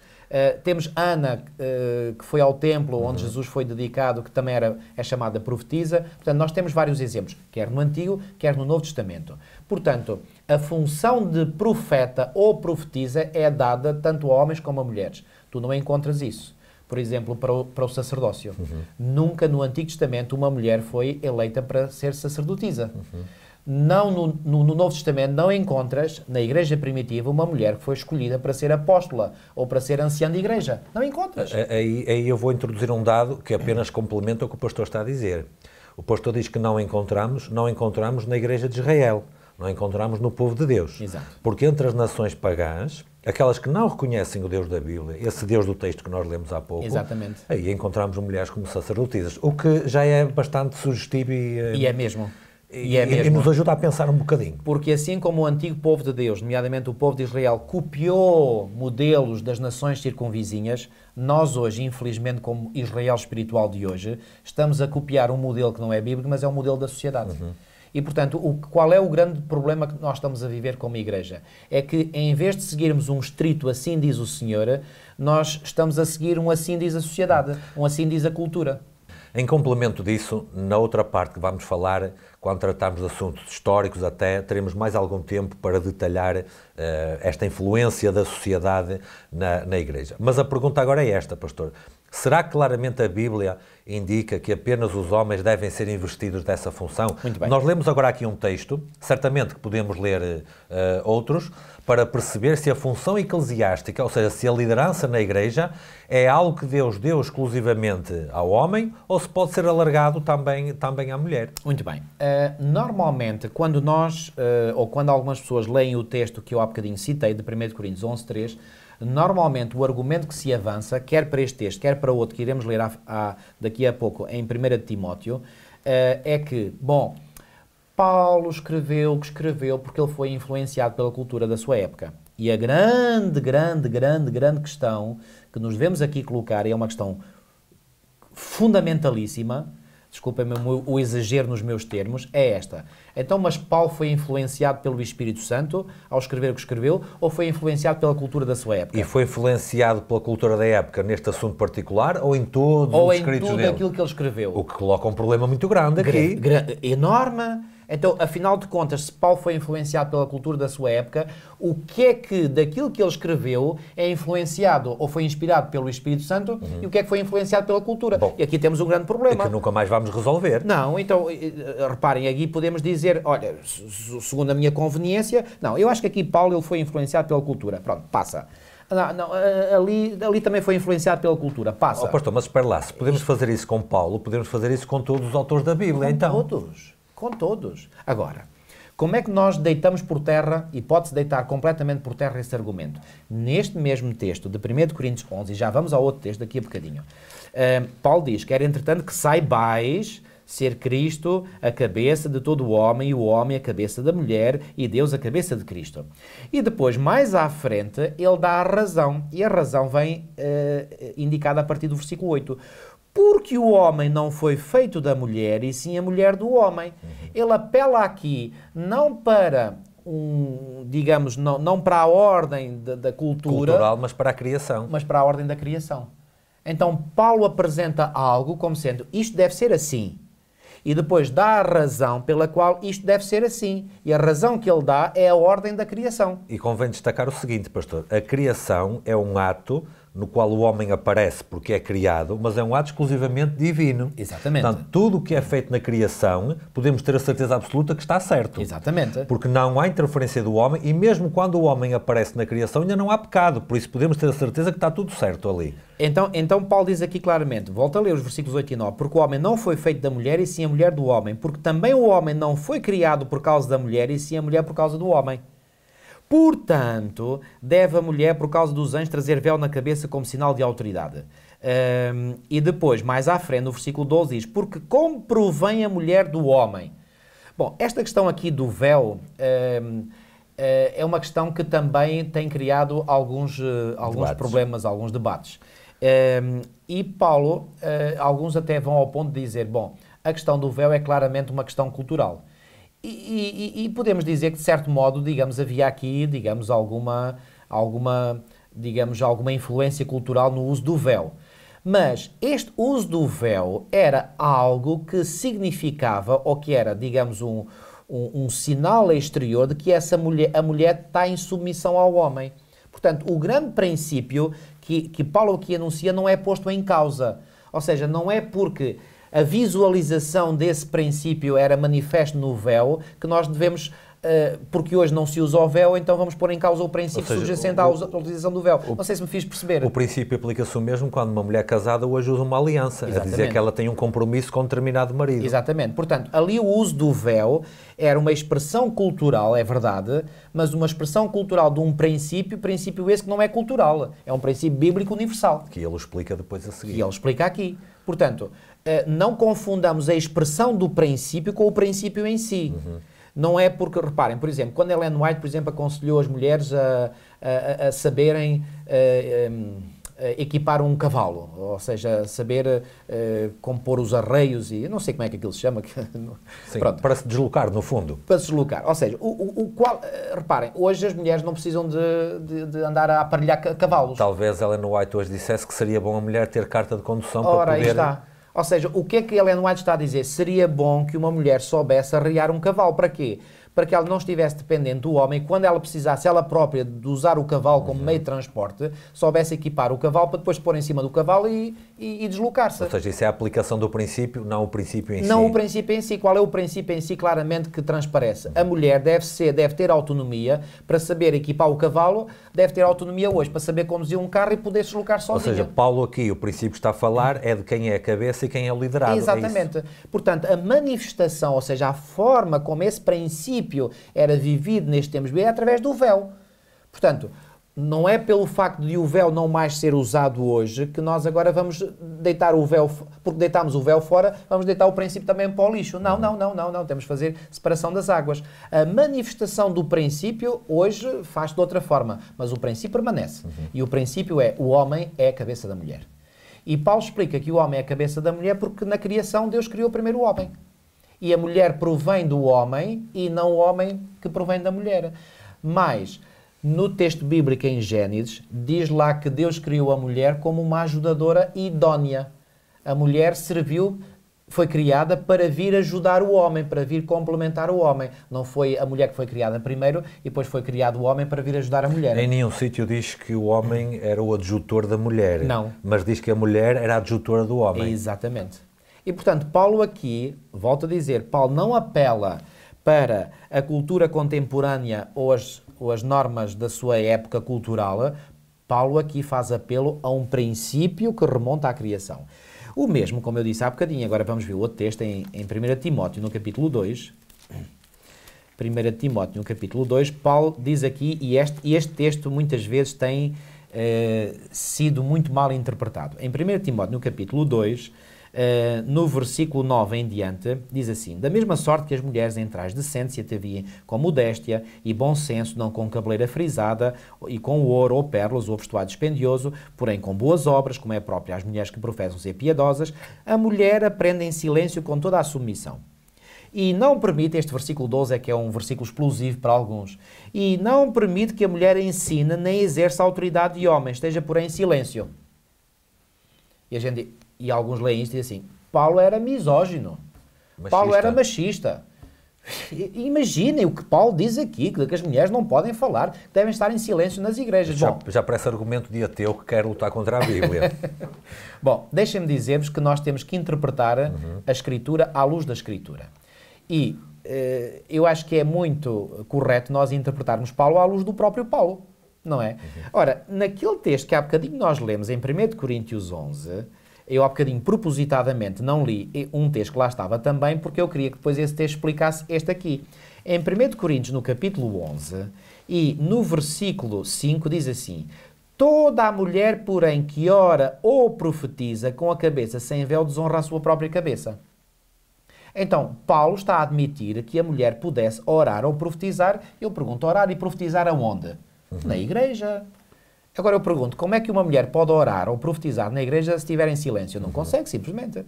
Então, quando Paulo diz aqui que a mulher aprende em silêncio, não permite que a mulher ensine, que esteja por aí em silêncio, será que Paulo queria dizer que a mulher devia estar calada e que não devia proferir uma só palavra? Isso estaria a contrariar o que ele disse lá atrás. Exatamente. Isso estaria a contrariar o que Paulo diz aqui que ele admite claramente que a mulher possa orar. Para orar é preciso que a pessoa fale. Verbalizar, não é? Verbalizar. E profetizar, o que é que é profetizar? É ensinar, é falar em nome de Deus, é apresentar uma mensagem à igreja. Portanto, Paulo admite que a mulher possa apresentar uma mensagem. Então, à luz do que o mesmo Paulo diz aqui em 1 Coríntios 11, já podemos agora ver com outros olhos o que ele diz em 1 de Timóteo 2,12. Não permite que a mulher ensine, e está aqui uma frase-chave, nem exerça autoridade de homem. Este é o ponto que Paulo está aqui a dizer. A mulher deve estar em silêncio no que a questões de autoridade e respeito. A mulher pode orar na igreja, a mulher pode profetizar, ou seja, pode ensinar, pode, pode fazer uma pregação, pode passar uma escola sabatina, pode ser evangelista pode ser evangelista num círculo familiar, pode ser evangelista uh, para grandes auditórios. E na prática acrescento, pastor, muitas o fazem muito melhor do que muitos homens. Exatamente. E bom, continuarão a fazer. Bom, isso aí, isso aí não, está, não está em questão, porque se formos falar do mérito, se calhar há mulheres que até fazem melhor que muitos homens. O que eu quero, claro, o que eu quero dizer é o seguinte, pastor, uma coisa é o exercício e outra coisa é o princípio. Exatamente. E o princípio abre espaço para a mulher ser professora na, na igreja? Abre espaço. Abre, abre. abre espaço para a mulher fazer pregações, desde logo ela no White fez centenas de pregações na igreja, nem, nem vale a pena responder essa pergunta. Claro, claro. Agora, abre espaço para a mulher ser líder sobre o homem? Bom, aí é que a conversa já é diferente. E aí Paulo diz claramente, quando Paulo diz aqui, eu quero que a mulher esteja em silêncio, e agora repara, se ligarmos o que Paulo diz aqui no capítulo 2, logo ao que diz o capítulo 3, onde ele fala da qualificação dos bispos e depois a seguir dos diáconos, ele diz que uma das qualificações que o bispo, e atenção, entenda-se aqui bispo, nós hoje não usamos muito este termo na nossa igreja adventista. Usamos ancião mais. Usamos o termo ancião, presbítero, Sim. enfim, pronto. Uh, uma das qualificações que o bispo ou ancião tem que ter, está mencionado no versículo 2, capítulo 3, versículo 2, é necessário, portanto, que o bispo seja uma, uma, uma característica irrepreensível. Outra característica, esposo de uma só mulher. Já iremos também comentar este aspecto. Temperante, sóbrio, modesto, hospitaleiro. E finalmente, Paulo diz aqui, uh, ou finalmente não, entre outras características, apto para ensinar. ensinar. Então, reparem, reparem eu, eu, eu, já, já me aconteceu estar em situações, em comissões de nomeações, onde até encontramos uma pessoa que é, que é, que é uma excelente pessoa, que, tem, que é idónea, que é, que é honesta, que é correta, que tem a, a, a, sua, a, sua, a sua família bem ordenada e que até gostaríamos, como igreja, de propor essa pessoa para exercer o cargo de ancião, mas já aconteceu uh, comigo não se escolher essa pessoa porque essa pessoa falta-lhe uma qualidade, é o dom de ensinar, é o dom de, de, de falar em público. A pessoa não tem, uh, pronto, como uns têm mais, outros têm menos, uns não têm nada, outros têm tudo, enfim, é tudo entre aspas. Um, ou seja, uma das qualidades que o ancião, ou presbítero, ou bispo tem que ter é que seja apto para ensinar. E quando Paulo está a falar aqui no capítulo 2, uh, eh, no versículo 12, e não permite que a mulher que ensine. Então, ligando estes dois textos, o que é que nós podemos aqui compreender? Eu não permito que a mulher ensine estando na posição de autoridade sobre o homem, ou exercendo essa função de ensinar na posição de líder, na posição de pastores e anciãos. Uhum. Isto fica claríssimo. E isso é uma, uma, uma, uma, uma forma de nós estarmos a interpretar o texto bíblico sem fazermos o apóstolo Paulo se contradizer ele próprio, porque nenhum autor inspirado se pode contradizer, porque o Espírito Santo é o Espírito da verdade, não se contradiz. E, portanto, esta é a forma correta de nós interpretarmos. Aquilo que Paulo está aqui a falar é que a mulher deve estar em silêncio no que respeita à autoridade. Ela não tem autoridade sobre o homem. Mas ela pode orar, pode profetizar à vontade. Simplesmente não pode exercer uma função eclesiástica, que é uma função de autoridade que só o homem pode, pode ter. Pastor, e, aqui... e, e já agora, Sim. aqui aquela expressão esposo de uma só mulher. Sim Uh, muitos têm dito que isto, eh, que isto agora pode-se usar aqui uma linguagem inclusiva, não pode nada. E eu ia fazer essa pergunta Não pode termos, nada pastor. fazer uh, aqui linguagem inclusiva, porque a, a, na, na, linguagem grega havia um termo para homem no sentido de humanidade, que é a palavra antropós, de onde vem a palavra antropologia, e tem outra palavra que é andrós, quer dizer homem macho. E o termo que Paulo usou aqui é homem, homem no sentido de andrós, macho. E repara, um homem, o esposo de uma só mulher, de uma gunaikos, de uma mulher. A linguagem é específica, não é inclusiva, é específica. Ou seja, aqueles que podem e devem ser líderes na igreja são homens que estão casados com uma mulher-mulher. O argumento que eu ouço aqui, pastor, eh, da parte, porque eu, claro, durante estes anos também pude perceber alguns dos argumentos uh, daqueles nossos irmãos que favorecem a ordenação de mulheres e que são a favor. E um argumento foi que, no fundo, esta expressão marido de uma só mulher, O que quer dizer é que o líder tem que ser fiel, não pode ser um adulto, não pode ser um promíscuo. Sim. Porque, na verdade, sim, mas o, o, o, que diz aqui marido de uma só mulher, também poderia dizer mulher de um só marido, que quer dizer exatamente a mesma hum. coisa de Paulo. Ora, isso que o pastor acabou de dizer contraria este argumento. Porque Paulo, é... Paulo está a usar uma linguagem específica. De género, neste caso, de género. ou de sexo mesmo. E, e, e, se ele estivesse a usar uma, uma língua como a língua portuguesa, que não faz essa distinção, mas ele estava a, usar, a escrever em grego. E ao usar em grego, ele poderia muito bem ter aqui usado o termo antropós, não usa.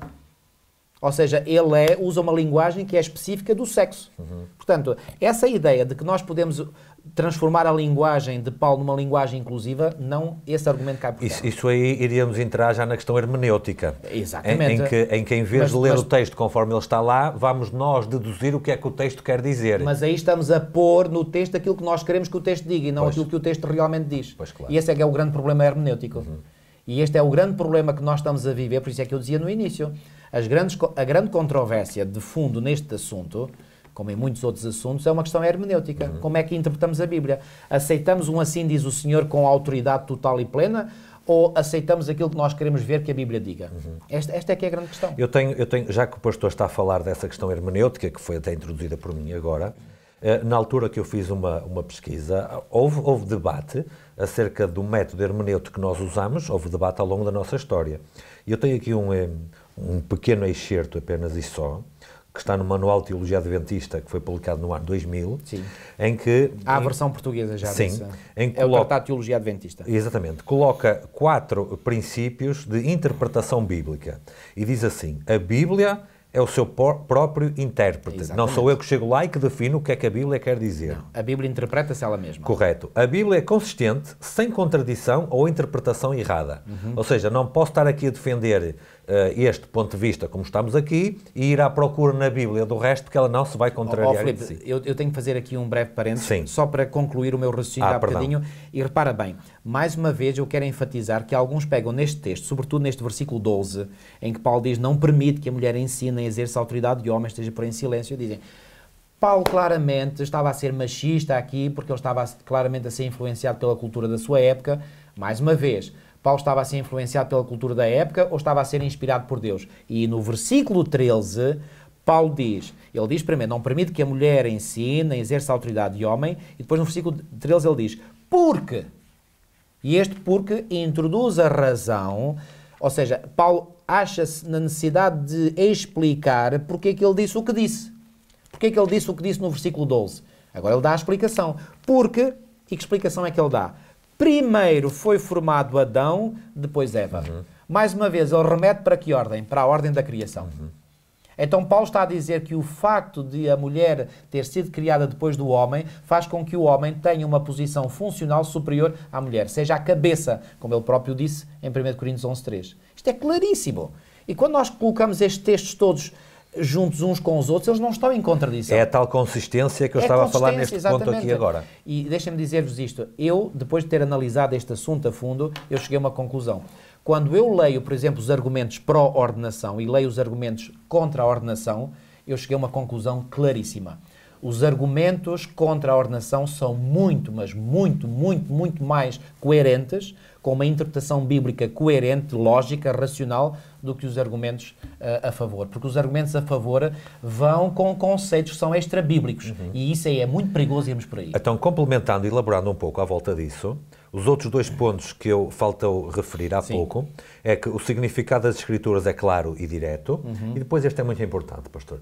As Escrituras são para ser tomadas no seu sentido literal e simples, a não ser que um símbolo óbvio seja usado. Exatamente. Quando estamos a tratar de profecia, claramente detectamos ali um símbolo Símbolos, óbvio. vários símbolos, exatamente. De resto, isto é um documento votado pela Igreja Mundial. Uhum. As Escrituras são para ser tomadas no seu sentido literal e simples. É por isso que nós fazemos uma hermenêutica historicista e literal. Exatamente. O texto da Bíblia quer dizer aquilo que nós lemos logo no imediato, a não ser que algum simbolismo seja Exatamente. Não é o caso aqui. aplicado, claro. E aqui a linguagem é clara, é literal e, portanto, é, é literalmente que deve ser interpretado. O que tem acontecido, e talvez possamos comentar um pouco isto, se calhar para quem não está uh, muito uh, por dentro do assunto, O que tem acontecido é que nas últimas décadas tem-se estabelecido e consolidado um método hermenêutico que é totalmente atroz a este que está aqui, que é o chamado método historicista crítico. Histórico-crítico. Histórico-crítico, perdão, ou há quem use o método, quem usa a designação mesmo, o método alta crítica mesmo.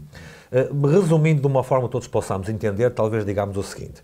Ao contrário destas premissas de interpretação que eu li há pouco, no método crítico eu leio e eu defino, mediante os meus conceitos, históricos, culturais, científicos, seja lá o que for, eu é que defino o que o texto quer dizer. Uhum. E não é o texto que me diz a mim o que ele próprio quer dizer. Exatamente. Ou seja, assim sendo, temos 7 mil milhões de interpretações da Bíblia pelo mundo fora. Pois. Porque cada um pode fazer a sua própria leitura, independentemente daquilo que está lá, literalmente ou historicamente uh, descrito. Mas tem sido isso a desgraça da, da, da interpretação da palavra de Deus ao longo dos séculos, porque o diabo quer que as pessoas interpretem incorretamente a palavra de Deus porque assim cada um vai para o seu lado. Uhum. E, e, aliás, eu faço aqui, uh, uh, recordo aquele texto muito conhecido de Amós 3.3, onde o profeta Amós uh, põe, põe à, à, consideração de nós, leitores, daquilo que ele escreveu, uma pergunta muito importante. E esta, esta pergunta está em Amós 3.3. Claro que a resposta a esta pergunta é mais do que óbvia, mas ela é uma pergunta que nos deixa a pensar e a refletir. Andarão dois juntos se não houver entre eles acordo? Uhum. Basta haver duas ideias diferentes para nós nos separarmos, para não haver acordo. Então, o que é que o diabo procura fazer? Ele procura criar várias interpretações para que assim a igreja esteja desunida e não esteja toda a arrumar na mesma direção. Uhum. E infelizmente esta é a realidade. Agora, um, Ellen White, por exemplo, nesta expressão, nesta, nesta citação que nós podemos ver agora, uh, diz: introduzir-se-ão divisões na igreja desenvolver-se-ão dois partidos. O trigo e o joio crescerão juntos para a ceifa. Aliás, e por falar em divisões, o apóstolo Paulo, por exemplo, uh, num texto que nós podemos encontrar em 1 Coríntios, uh, no capítulo 11 e no versículo 19, diz assim: Porque até mesmo importa que haja partidos entre vós para que também os aprovados se tornem conhecidos em vosso meio. Eu gosto mais aqui, como diz a versão Almeida uh, revista e corrigida, ou a Almeida Corrigida Fiel, que diz assim: Porque até mesmo importa que haja heresias entre vós, uhum. para que também os, os, os, os sinceros, ou. Uh, já agora, como é que diz aí a tua versão? Qual é o texto? 11, Portanto, 19. 1 Coríntios 11, 19. E até importa que haja entre vós heresias. Heresias. O que é uma heresia? Uma heresia é um pensamento que, portanto, se, se, se afasta do pensamento uh, ortodoxo, não é? Da, da, ortodoxia. Mas aqui o apóstolo Paulo está a dizer uma coisa que parece, parece estranha. Então, até é bom que haja heresias entre nós. O bom seria que não houvesse. Mas ele está a dizer que é bom que haja heresias. Então, tem que haver uma razão pela qual e é qual é a razão que ele dá? Ora, lê lá o, o meu resto. texto diz, para que os que para que os que são sinceros se manifestem entre vós. Ah, Ou seja, para se revelar a diferença entre o trigo e o joio. Exatamente. Exatamente. Então Paulo até diz, não, até é uma coisa boa que haja, que haja heresias entre nós. Porque assim se manifesta quem é quem. Oh, quem pastor, é trigo, quem é joio. Neste caso concreto, a verdade Agora, é que se não houvesse esta discussão toda, eu nunca teria estudado o assunto para percebê-lo, por exemplo. É, é, um facto. E eu falo também por mim. Vou nessa, e eu entendo nessa... este versículo de, de Paulo. Agora, uh, antes que alguém possa já saltar para conclusões precipitadas e pensar assim, então Uh, pastor, de acordo com a sua interpretação, os que pensam como você são trigo, os que não pensam como você são joio. Eu não disse nada disso. O que eu estou aqui a dizer é que está escrito que introduzir-se-ão divisões na igreja. Não fui eu que escrevi, Ellen White, inspirada por Deus, escreveu isso. E ela também diz que dois partidos se desenvolveriam dentro da igreja. Não sou eu que o digo, é ela que o escreveu. Mas um autor bíblico inspirado, o apóstolo Paulo, diz que até é bom que haja heresias entre nós para que os que são sinceros se manifestem entre vós. Agora, há trigo de um lado de, de, de, e joio de um e do outro lado desta controvérsia? Eu acredito que sim.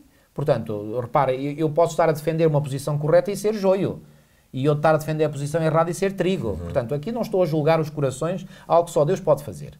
Aliás, a propósito disso, eu gosto muito de um texto do apóstolo Paulo em 1 Coríntios 4, 5, onde ele diz isto. Portanto, nada julgueis antes do tempo até que venha o Senhor o qual não somente trará à plena luz as coisas ocultas das trevas, mas também manifestará os desígnios dos corações, e então cada um receberá o seu louvor da parte de Deus. Uhum. Portanto, eu aqui não estou a julgar pessoas, volto a dizer, eu estou a julgar factos, eu estou a julgar ideias. E aquilo que eu julgo é, à luz da palavra de Deus, as, há ideias corretas e há ideias falsas. E eu só tenho é que saber o que é que a palavra de Deus me diz, porque eu quero conhecer a verdade. Porque Jesus, na sua oração que fez ao Pai, disse: Santifica-os na verdade, a tua palavra é verdade. Eu quero passar pelo processo de santificação. Porque a palavra de Deus me diz que sem a santificação ninguém verá a Deus. Eu quero ver a Deus. Então, se eu quero ver a Deus, obrigatoriamente, obrigatoriamente eu tenho que passar pela santificação. E Jesus disse-me que eu só posso passar pela santificação se for santificado na verdade. Então eu tenho que conhecer a verdade. Eu quero conhecer a verdade. E quero conhecer a verdade não só para eu andar na verdade, mas para ensinar outros a andar uhum. na verdade. E a verdade acerca deste assunto que estamos a falar é que Deus deu a função da liderança apenas ao homem e não à mulher. Pode final. Eu, eu, quero, eu quero ler um texto, pastor, que eu penso que vem como um bom complemento e boa sequência disto, que está em Isaías, no capítulo 3. Isaías, no capítulo 3, uh, eh, e tem, tem aqui algumas advertências da parte de Deus para o seu povo. Uh, aliás, todo, praticamente todo o capítulo, não é? Mas eu vou ler apenas um, um versículo. Uh, Isaías, no capítulo 3 e no versículo 12, é o Senhor, Deus está a criticar o seu povo, certo? Deus está a apontar-lhe os erros e diz assim, 3.12 de Isaías, Os opressores do meu povo são crianças e mulheres dominam sobre ele. Portanto, Deus critica o povo por ter mulheres a dominar. Aqui a minha versão diz, e mulheres estão à testa do seu governo. Ou à cabeça do seu governo, nesse caso. E depois diz assim, Ah, povo meu, os que te guiam te enganam e destroem o caminho das tuas veredas. Exatamente. Não fui eu que disse isto, pastor. Não. Nem foi o profeta que disse isto, tampouco. O profeta apenas descreveu aquilo, aquilo que Deus, que Deus disse. revelou. Exatamente. Portanto, dentro de uma interpretação literal, histórica ou historicista do que está aqui, se eu vou a ler aqui, eu não tenho nenhuma dúvida a interpretar este texto que está aqui. Ou seja, aqui o Senhor está, através do seu profeta Isaías, a, a, a lamentar-se de uma situação que estava a existir no tempo de uhum. Isaías, uhum. uma situação que estava a existir dentro do seu povo nesta altura, em que aqueles que dominavam, aqueles que exerciam a liderança, eram mulheres. Uhum. E atenção, há, há, também algo aqui que merece ser dito e que me, e agora este texto me chamou a atenção para isso. Era mau mulheres estarem à testa do governo mas porquê que as mulheres tinham assumido essa liderança? Podemos apenas especular aqui. É verdade que aqui... Podemos especular para este tempo, mas podemos ter a certeza para o tempo de hoje. É, é porque os homens se demitiram das suas funções. Exatamente. Esse era o ponto onde eu queria chegar. Ou seja, quem é, quem é, que, quem é que estava aqui mal? Eram só as mulheres? Não, não, não eram só as mulheres. Eram também os homens. E eu diria primeiramente os homens. Primeiramente até. os homens porque, em primeiro lugar, os homens se demitiram da sua responsabilidade de liderança. Ou seja, primeiro eles falharam diante de Deus. Exatamente. Depois falharam diante da sociedade e diante da igreja. E muitas vezes, na nossa sociedade atual, nos nossos dias de hoje, quantas mulheres às vezes não têm necessidade de ir à frente. É verdade. De dar a cara, de assumir, assumir posições de liderança, porque simplesmente têm homens que não são homens. É verdade. Que deveriam exercer a liderança de homens e não exercem. E, e, aqui eu tenho quase a certeza absoluta que muitas das senhoras, senhoras que me estão a ouvir concordam totalmente com aquilo que e eu estou a dizer. E temos de concordar, pastor, porque o que dissemos há pouco, que impede as mulheres de exercer essa liderança que Deus determinou, ao mesmo tempo e na mesma proporção responsabiliza os homens para o fazer. Exatamente, exatamente. E portanto, eu como homem, tu como homem, simplesmente não nos podemos demitir. Agora, outra questão, será que eu tenha exercido de forma, da forma mais correta a minha responsabilidade como homem, como líder, pois bem, infelizmente eu olho às vezes para, para a minha vida e, e, e, reconheço que nem sempre tenho exercido da melhor forma. Claro. Mas pelo menos há uma coisa, e Deus é a minha testemunha, que eu reconheço, é que, primeiro, eu tenho essa responsabilidade em cima de mim e Deus sabe, eu quero exercer essa responsabilidade, ou seja, não quero fugir dela. Agora, que Deus me ajude a ser cada vez melhor no exercício dessa minha responsabilidade. Não quero fugir dela. Agora, não deixa de ser um facto que há muitos homens que simplesmente querem uh, demitir-se dessa sua responsabilidade, não querem assumir. E aí deixam as mulheres numa posição numa posição frágil, numa posição incómoda. Uhum. Porquê que Deus chamou Ellen White ao ministério profético? Porque dois homens não quiseram. Porque antigamente tinha chamado dois homens e os dois uh, não, não quiseram aceitar. E, portanto, é como se o senhor dissesse, bom, já que nenhum homem está, está pronto para, para a responsabilidade que eu tenho sobre ele, vou chamar uma mulher. E chamou, chamou uma mulher e das mulheres mais fraquinhas que existiam na... Que no caso, como dissemos há pouco, era uma função que ele já tinha entregue a mulheres no passado. Exatamente. mas isso, o, mas e... o que é facto é que também houve dois homens que resistiram, aliás, rejeitaram a, a, a, o exercício dessa função que Deus lhes tinha pedido. Deus, ao chamar Ellen White para o Ministério Profético, não fez nada que vá, fosse contra o seu princípio, claro. porque ele já tinha feito isso claro. nos tempos do Antigo Mas chamou porque nós homens não estivemos no posto de ver quando deveríamos. Exatamente. E, e, e muitas vezes, a nível familiar, eu vejo, a nível da igreja, às vezes há mulheres que têm que chegar à frente e assumir posições porque o, o, os homens simplesmente demitem-se ou não querem, ou sei lá, tantas razões. Agora, há uma coisa também que eu quero dizer. A nossa sociedade e, e, a, e, a, corrente ideológica prevalecendo cada vez mais na nossa sociedade, e quando digo na nossa sociedade, estou a falar das sociedades ocidentais, é desprestigiar o homem. É, é, é pôr o homem lá no, no, no. Reparem, se tu és homem, se tu és crente em Deus, se tu és branco, se tu és eh, rico, uh, rico então estás, estás, estás tramado, porque não tens hipótese nenhuma. Porque existe uma, uma, um, uma corrente ideológica. Uma corrente ideológica que é contra os homens, é contra o facto de ser. Se é branco, é racista. Pronto, basta ser branco para já ser racista. Quando eu me pergunto, repare, estamos a falar, mais uma vez, eu não estou aqui a querer ofender ninguém. Eu estou apenas a falar de ideologias, de ideias. E há certas ideologias que parece que pressupõem na base que basta ser branco para ser racista. Mas quem é que me diz a mim que um negro não pode ser racista também? Ou até mais, não estou a dizer que seja ou que não seja, estou a dizer, pode ser. Há brancos racistas? Claro que há. Há negros racistas? Também há. E, portanto, essa ideologia que diz só os brancos é que são racistas, os negros podem fazer tudo e mais alguma coisa, nunca são racistas. Portanto, isso, isso há, é uma ideologia falsa. Há, há, umas etiquetas que são colocadas Exatamente. como, como catálogo. Como é, catálogo. Uma etiqueta, pronto, é branco, é racista. É homem, é, é, é, machista.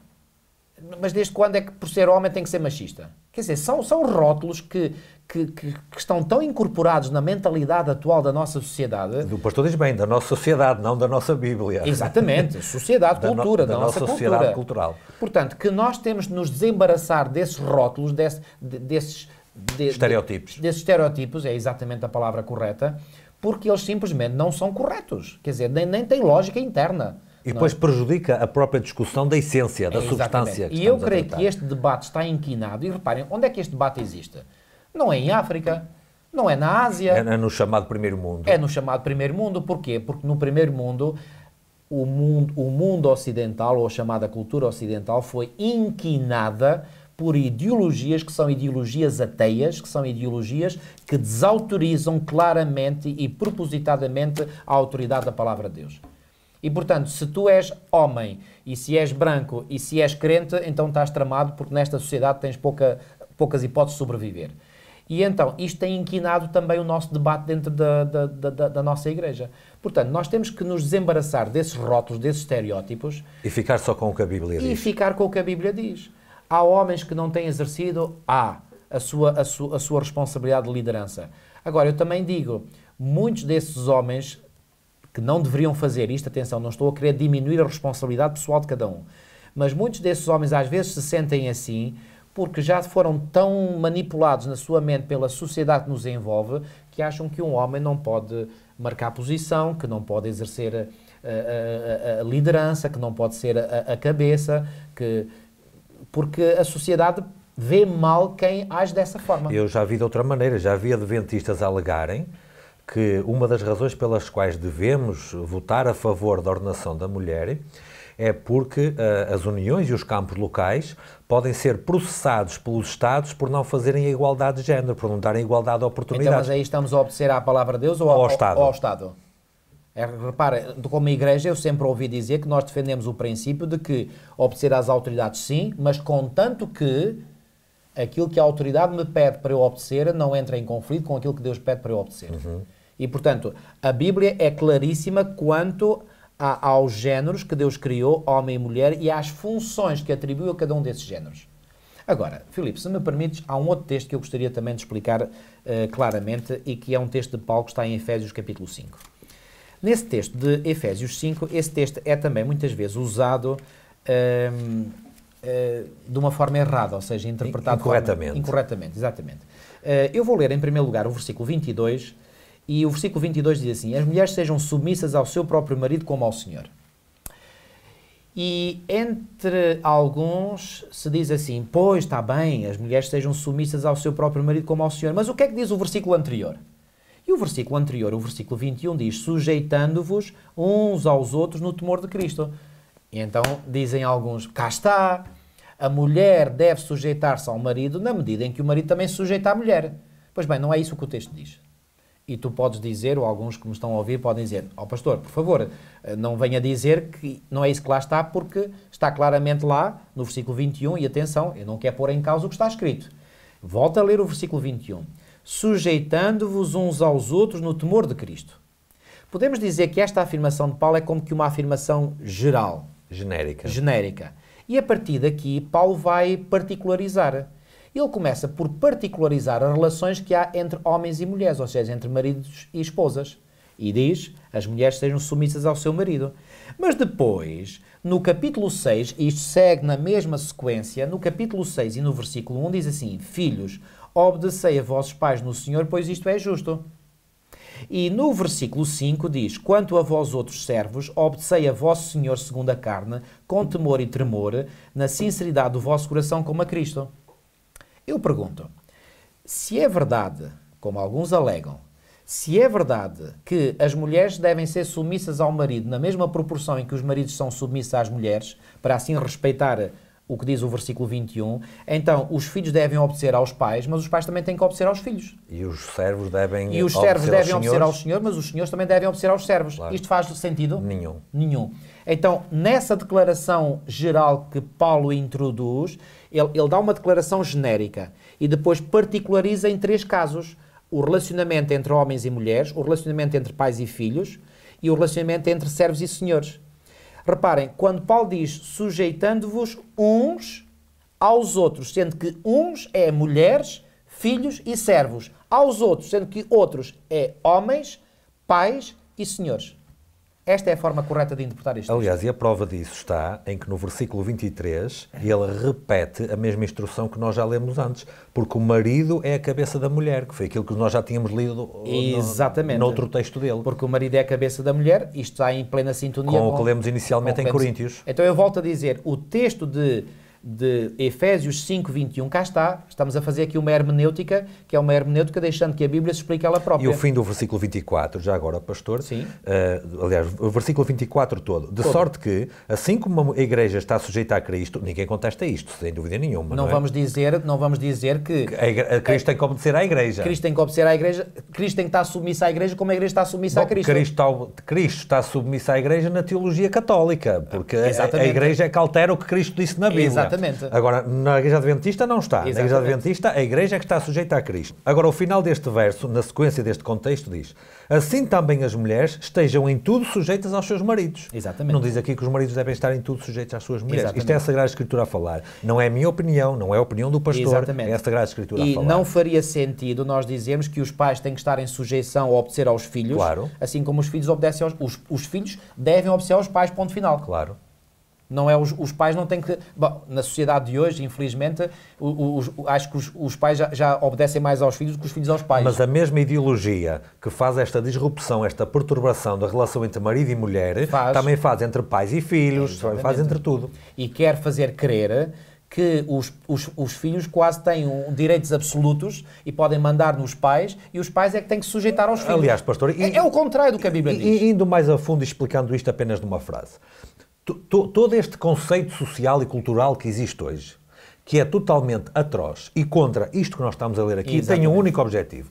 A destruição da orientação patriarcal das Sagradas Escrituras que Deus deu. Exatamente. Ou seja, deitar por terra o que Deus constituiu. Deus deu uma orientação patriarcal para a família, para a sociedade e para a Igreja, que nós a recebemos por herança dos valores judaico-cristãos que estão aqui na Sagrada Escritura estes conceitos sociais e culturais que estão à nossa volta querem destruir isso completamente. É, é. Daí vem, entre outras coisas, e, e, é uma pena que não, não podemos, mas talvez numa ocasião futura, uh, a entrar em mais detalhe, Estes são os mesmos princípios que favorecem a homossexualidade. É, é, Estes é. são os mesmos princípios que favorecem a pedofilia e o incesto, por é, exemplo. É, exatamente. A, a, mesma base de raciocínio do pensamento ideológico de pensamento. que defende a ordenação da mulher serve para defender homossexualidade, incesto e pedofilia. Há um ou outro ramo, uma outra folha um bocadinho mais pequena, mas a árvore, o tronco é exatamente o mesmo. Talvez alguns que nos estejam a ouvir estão a dizer isso, isso, é, isso é mentira o que vocês estão a dizer. Eu defendo a ordenação da mulher, mas eu não sou a favor da homossexualidade, não sou a favor da pedofilia. E eu acredito que sim, isso está fora de questão.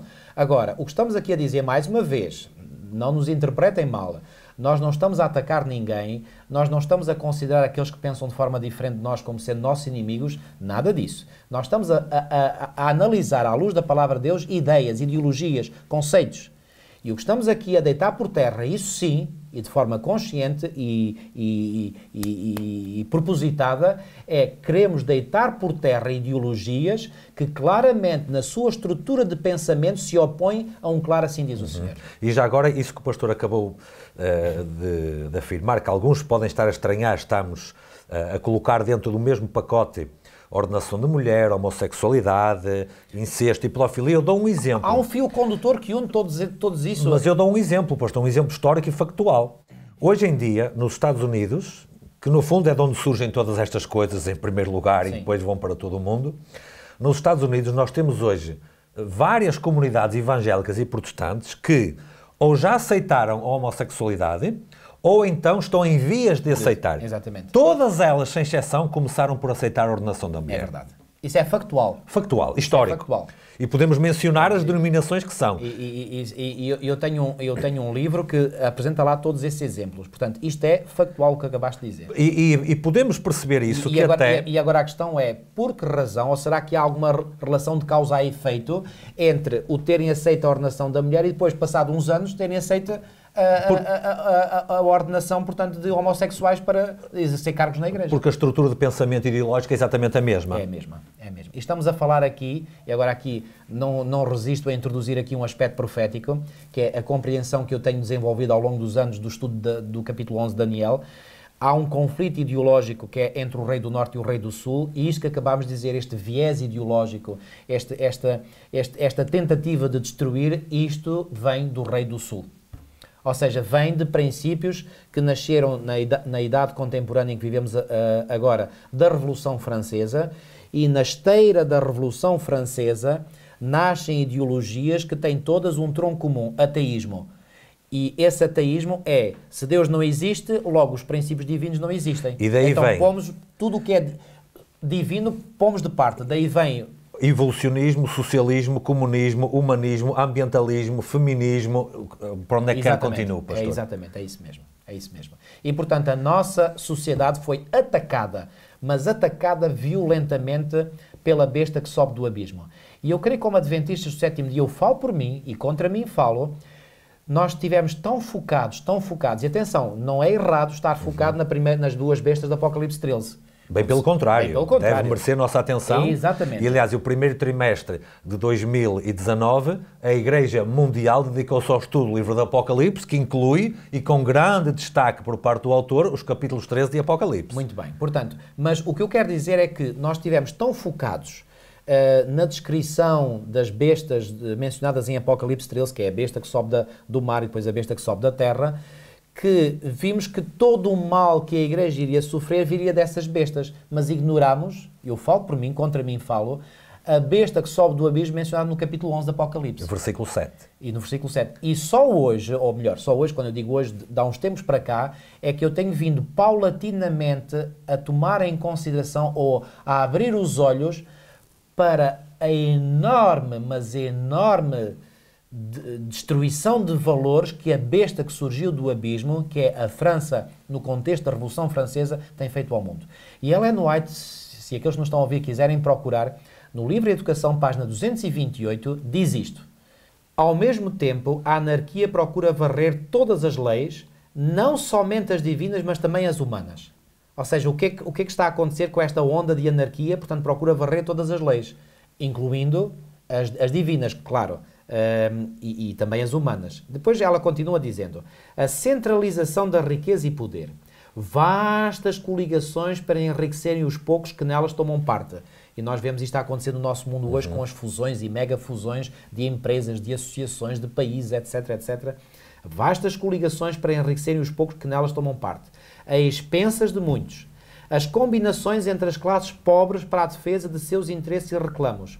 O espírito de desassossego, tumulto e matança. E agora reparem bem o que ela diz a seguir.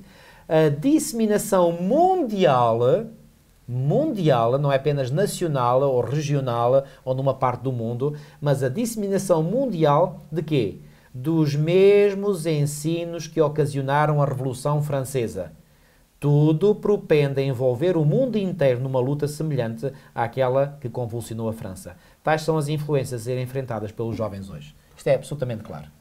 E, portanto, tu, tudo isto que nós vemos aqui, eh, a, a ordenação de mulheres, é apenas mais um ramo numa estrutura de pensamento e, no fundo, de engano que tenta assolapar e destruir aquilo que são as orientações bíblicas. Mas é isso mesmo, é isso mesmo.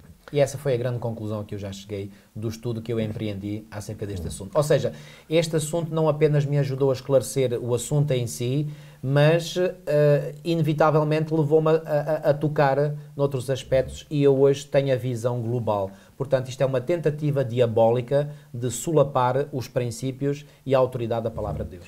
Pastor, eh, não tendo tempo de estar ao detalhe mais ínfimo de tudo aquilo que falamos, creio que deixámos uma boa ideia uhum. até para podermos explorar mais. Na segunda parte, trataremos este assunto sob uma perspectiva mais histórica e mais administrativa, que nos diz mais respeito a nós como Adventistas do sétimo dia, e assim esperamos por todos na segunda parte. Até mais.